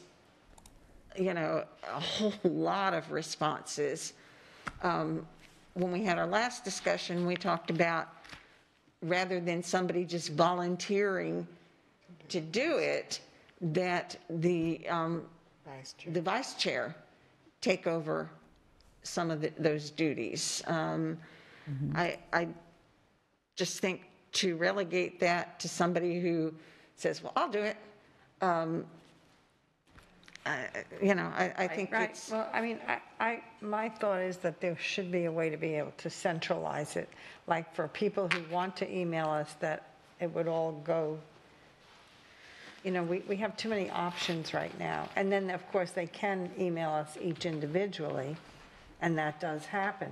When we respond, if that happens, we just send it, send the response, copy the superintendent's office and all the board members so that everyone is aware that it's been responded to. Yes. Ms. Gittens, I'm Um, I, I still think that, and, and I think I brought it up before, about having the, instead of saying the board chair, the board chair, the board chair, why not have the vice chair to have the responsibility for dealing with that, if, if we decide that's the way it's going to go, to do, you know, we get something, it goes to the vice chair to make sure that everybody has it, as opposed to just having the chair, you know, do all of that, because it, it- it has increased, and there are a lot of, um, a lot more emails, so that would be my suggestion, that's what I suggested before, that, uh, on, and I don't think there's any way we can stop people from, you know, doing the individual ones if they want to, it's just going to Oh, and- come. right, and So that's it's never just the a matter then, then the process would be, if it comes to board office, then the secretary and the chair know about it. If it comes to us individually, we would answer and then share it with the vice chair so that we know, I mean, everybody knows that it's been answered by at least one person. I- And I think every one of them has to be copied to the entire board, along with the superintendent's office. Because typically, it's staff who have to respond with most of the situations. Madam Chair, Madam Chair, and um, I'm noticing it is after 4 PM. I wonder if um, the board might want to include this discussion in the communication protocol that we're going to discuss next month, uh, since, since the email, or since all the correspondence is part of communication, that would give board members time to think about how they might best like to approach it. I think that's a great idea, and so we'll do that then on the 19th of October. Thank you, and with that, we've, those were all the items that were on our protocol list. Thank you. Thank you very much. And we appreciate you each and every time. You've been extremely patient and efficient, and we couldn't do it without you. Uh, Thank you, it's my pleasure to help. At this time, then, any uh, comments for good of the order? Ms. Giovannelli? None, thank you. No, thank you. Okay, Ms. Jordan? I can't remember, so no, thank you. Okay, Ms. Gittens? Yes, I, um, couple of other things I'll, I'll bring up tomorrow, but I do want to mention that, I think it was back last summer, I was speaking with some administrators and some teachers out in the East Zone, and we were talking about um, conversations about race, and we were talking about that. So one of the um, one of the teachers at uh, I think she's an, an assistant administrator at uh, Harns Marsh uh, talked with in let's see in um, uh, what's her name uh, dead in grants. I just lost her name.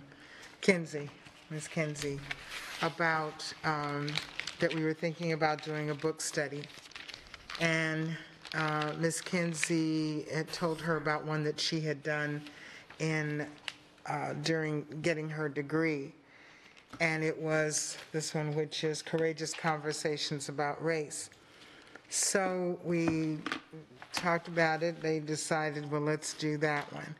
And invitations were sent to um, administrators, community people, parents um, in the East. And it was to be a, just a, a- a pilot to see, have the, go through a book study. We have, I think, seven, eight weeks. Tonight is the first one. And we will be discussing courageous conversations about race.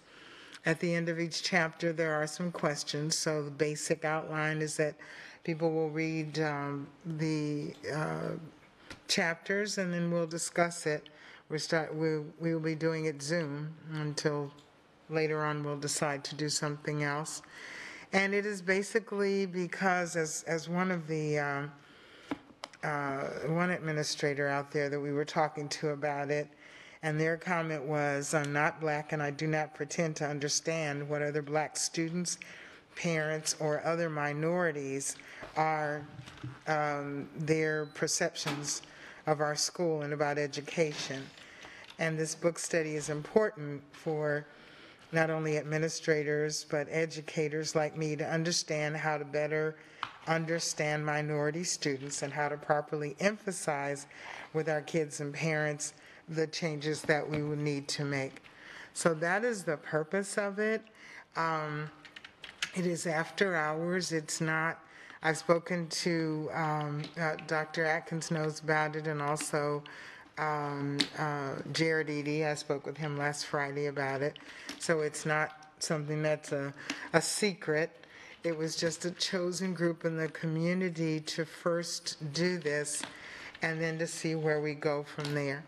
Um, As we all know, we've talked about how this is the time that this conversation cannot just go unspoken.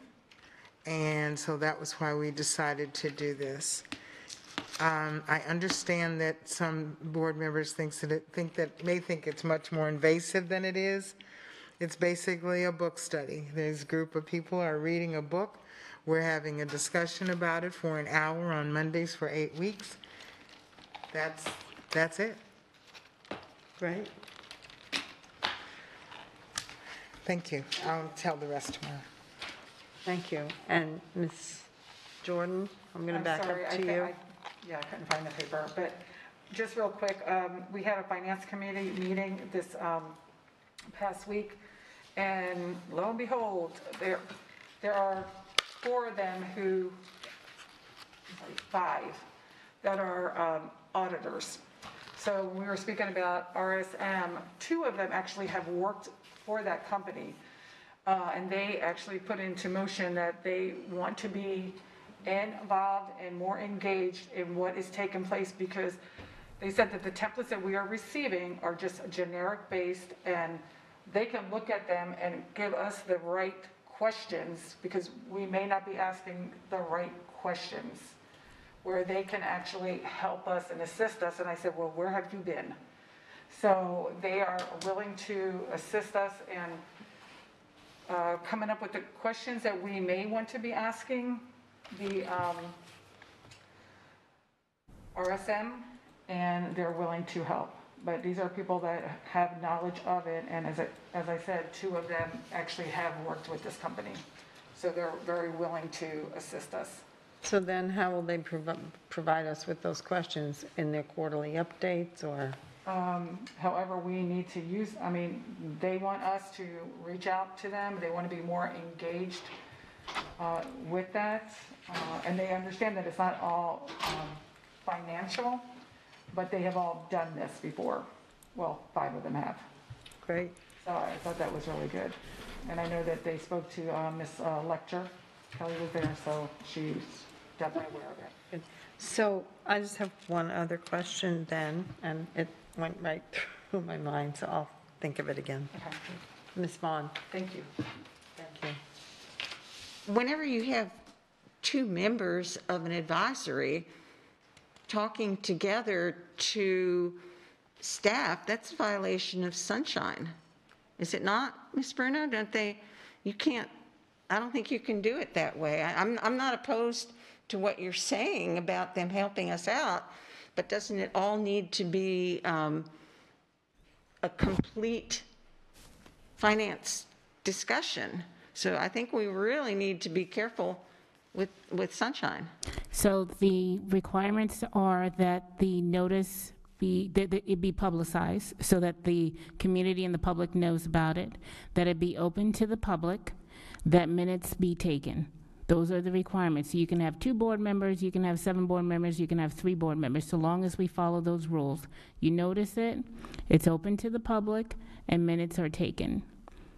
And it, it was during our committee meeting that this conversation was, so everybody was there, so it was open.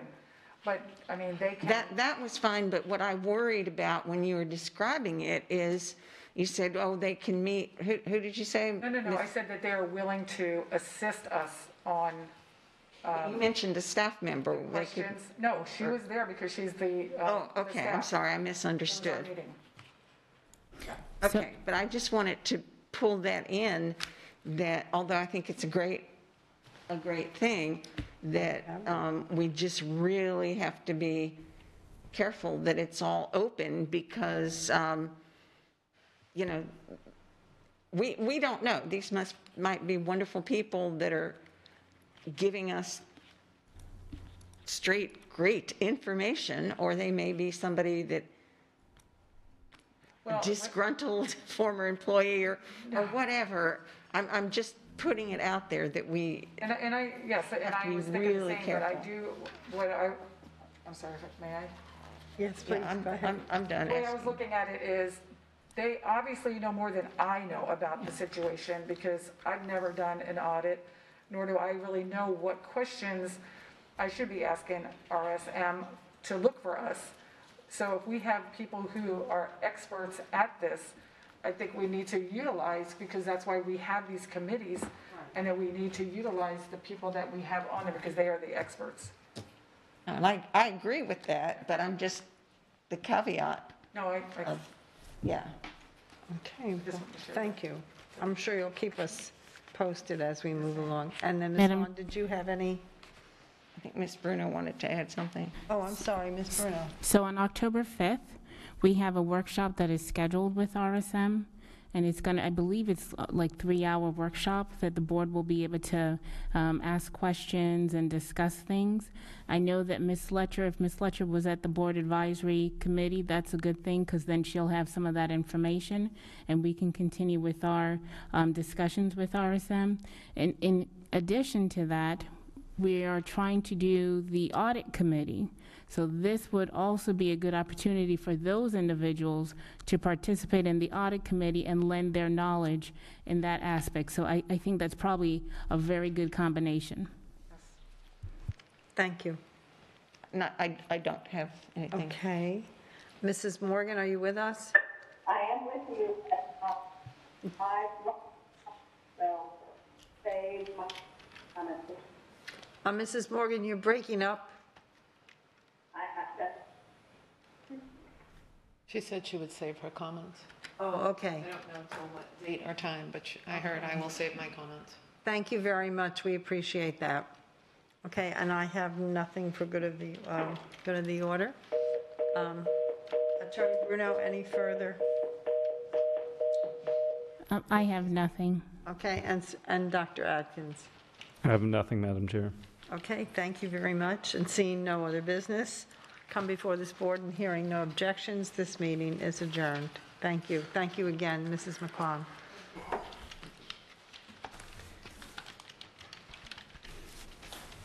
Thank you, Deputy.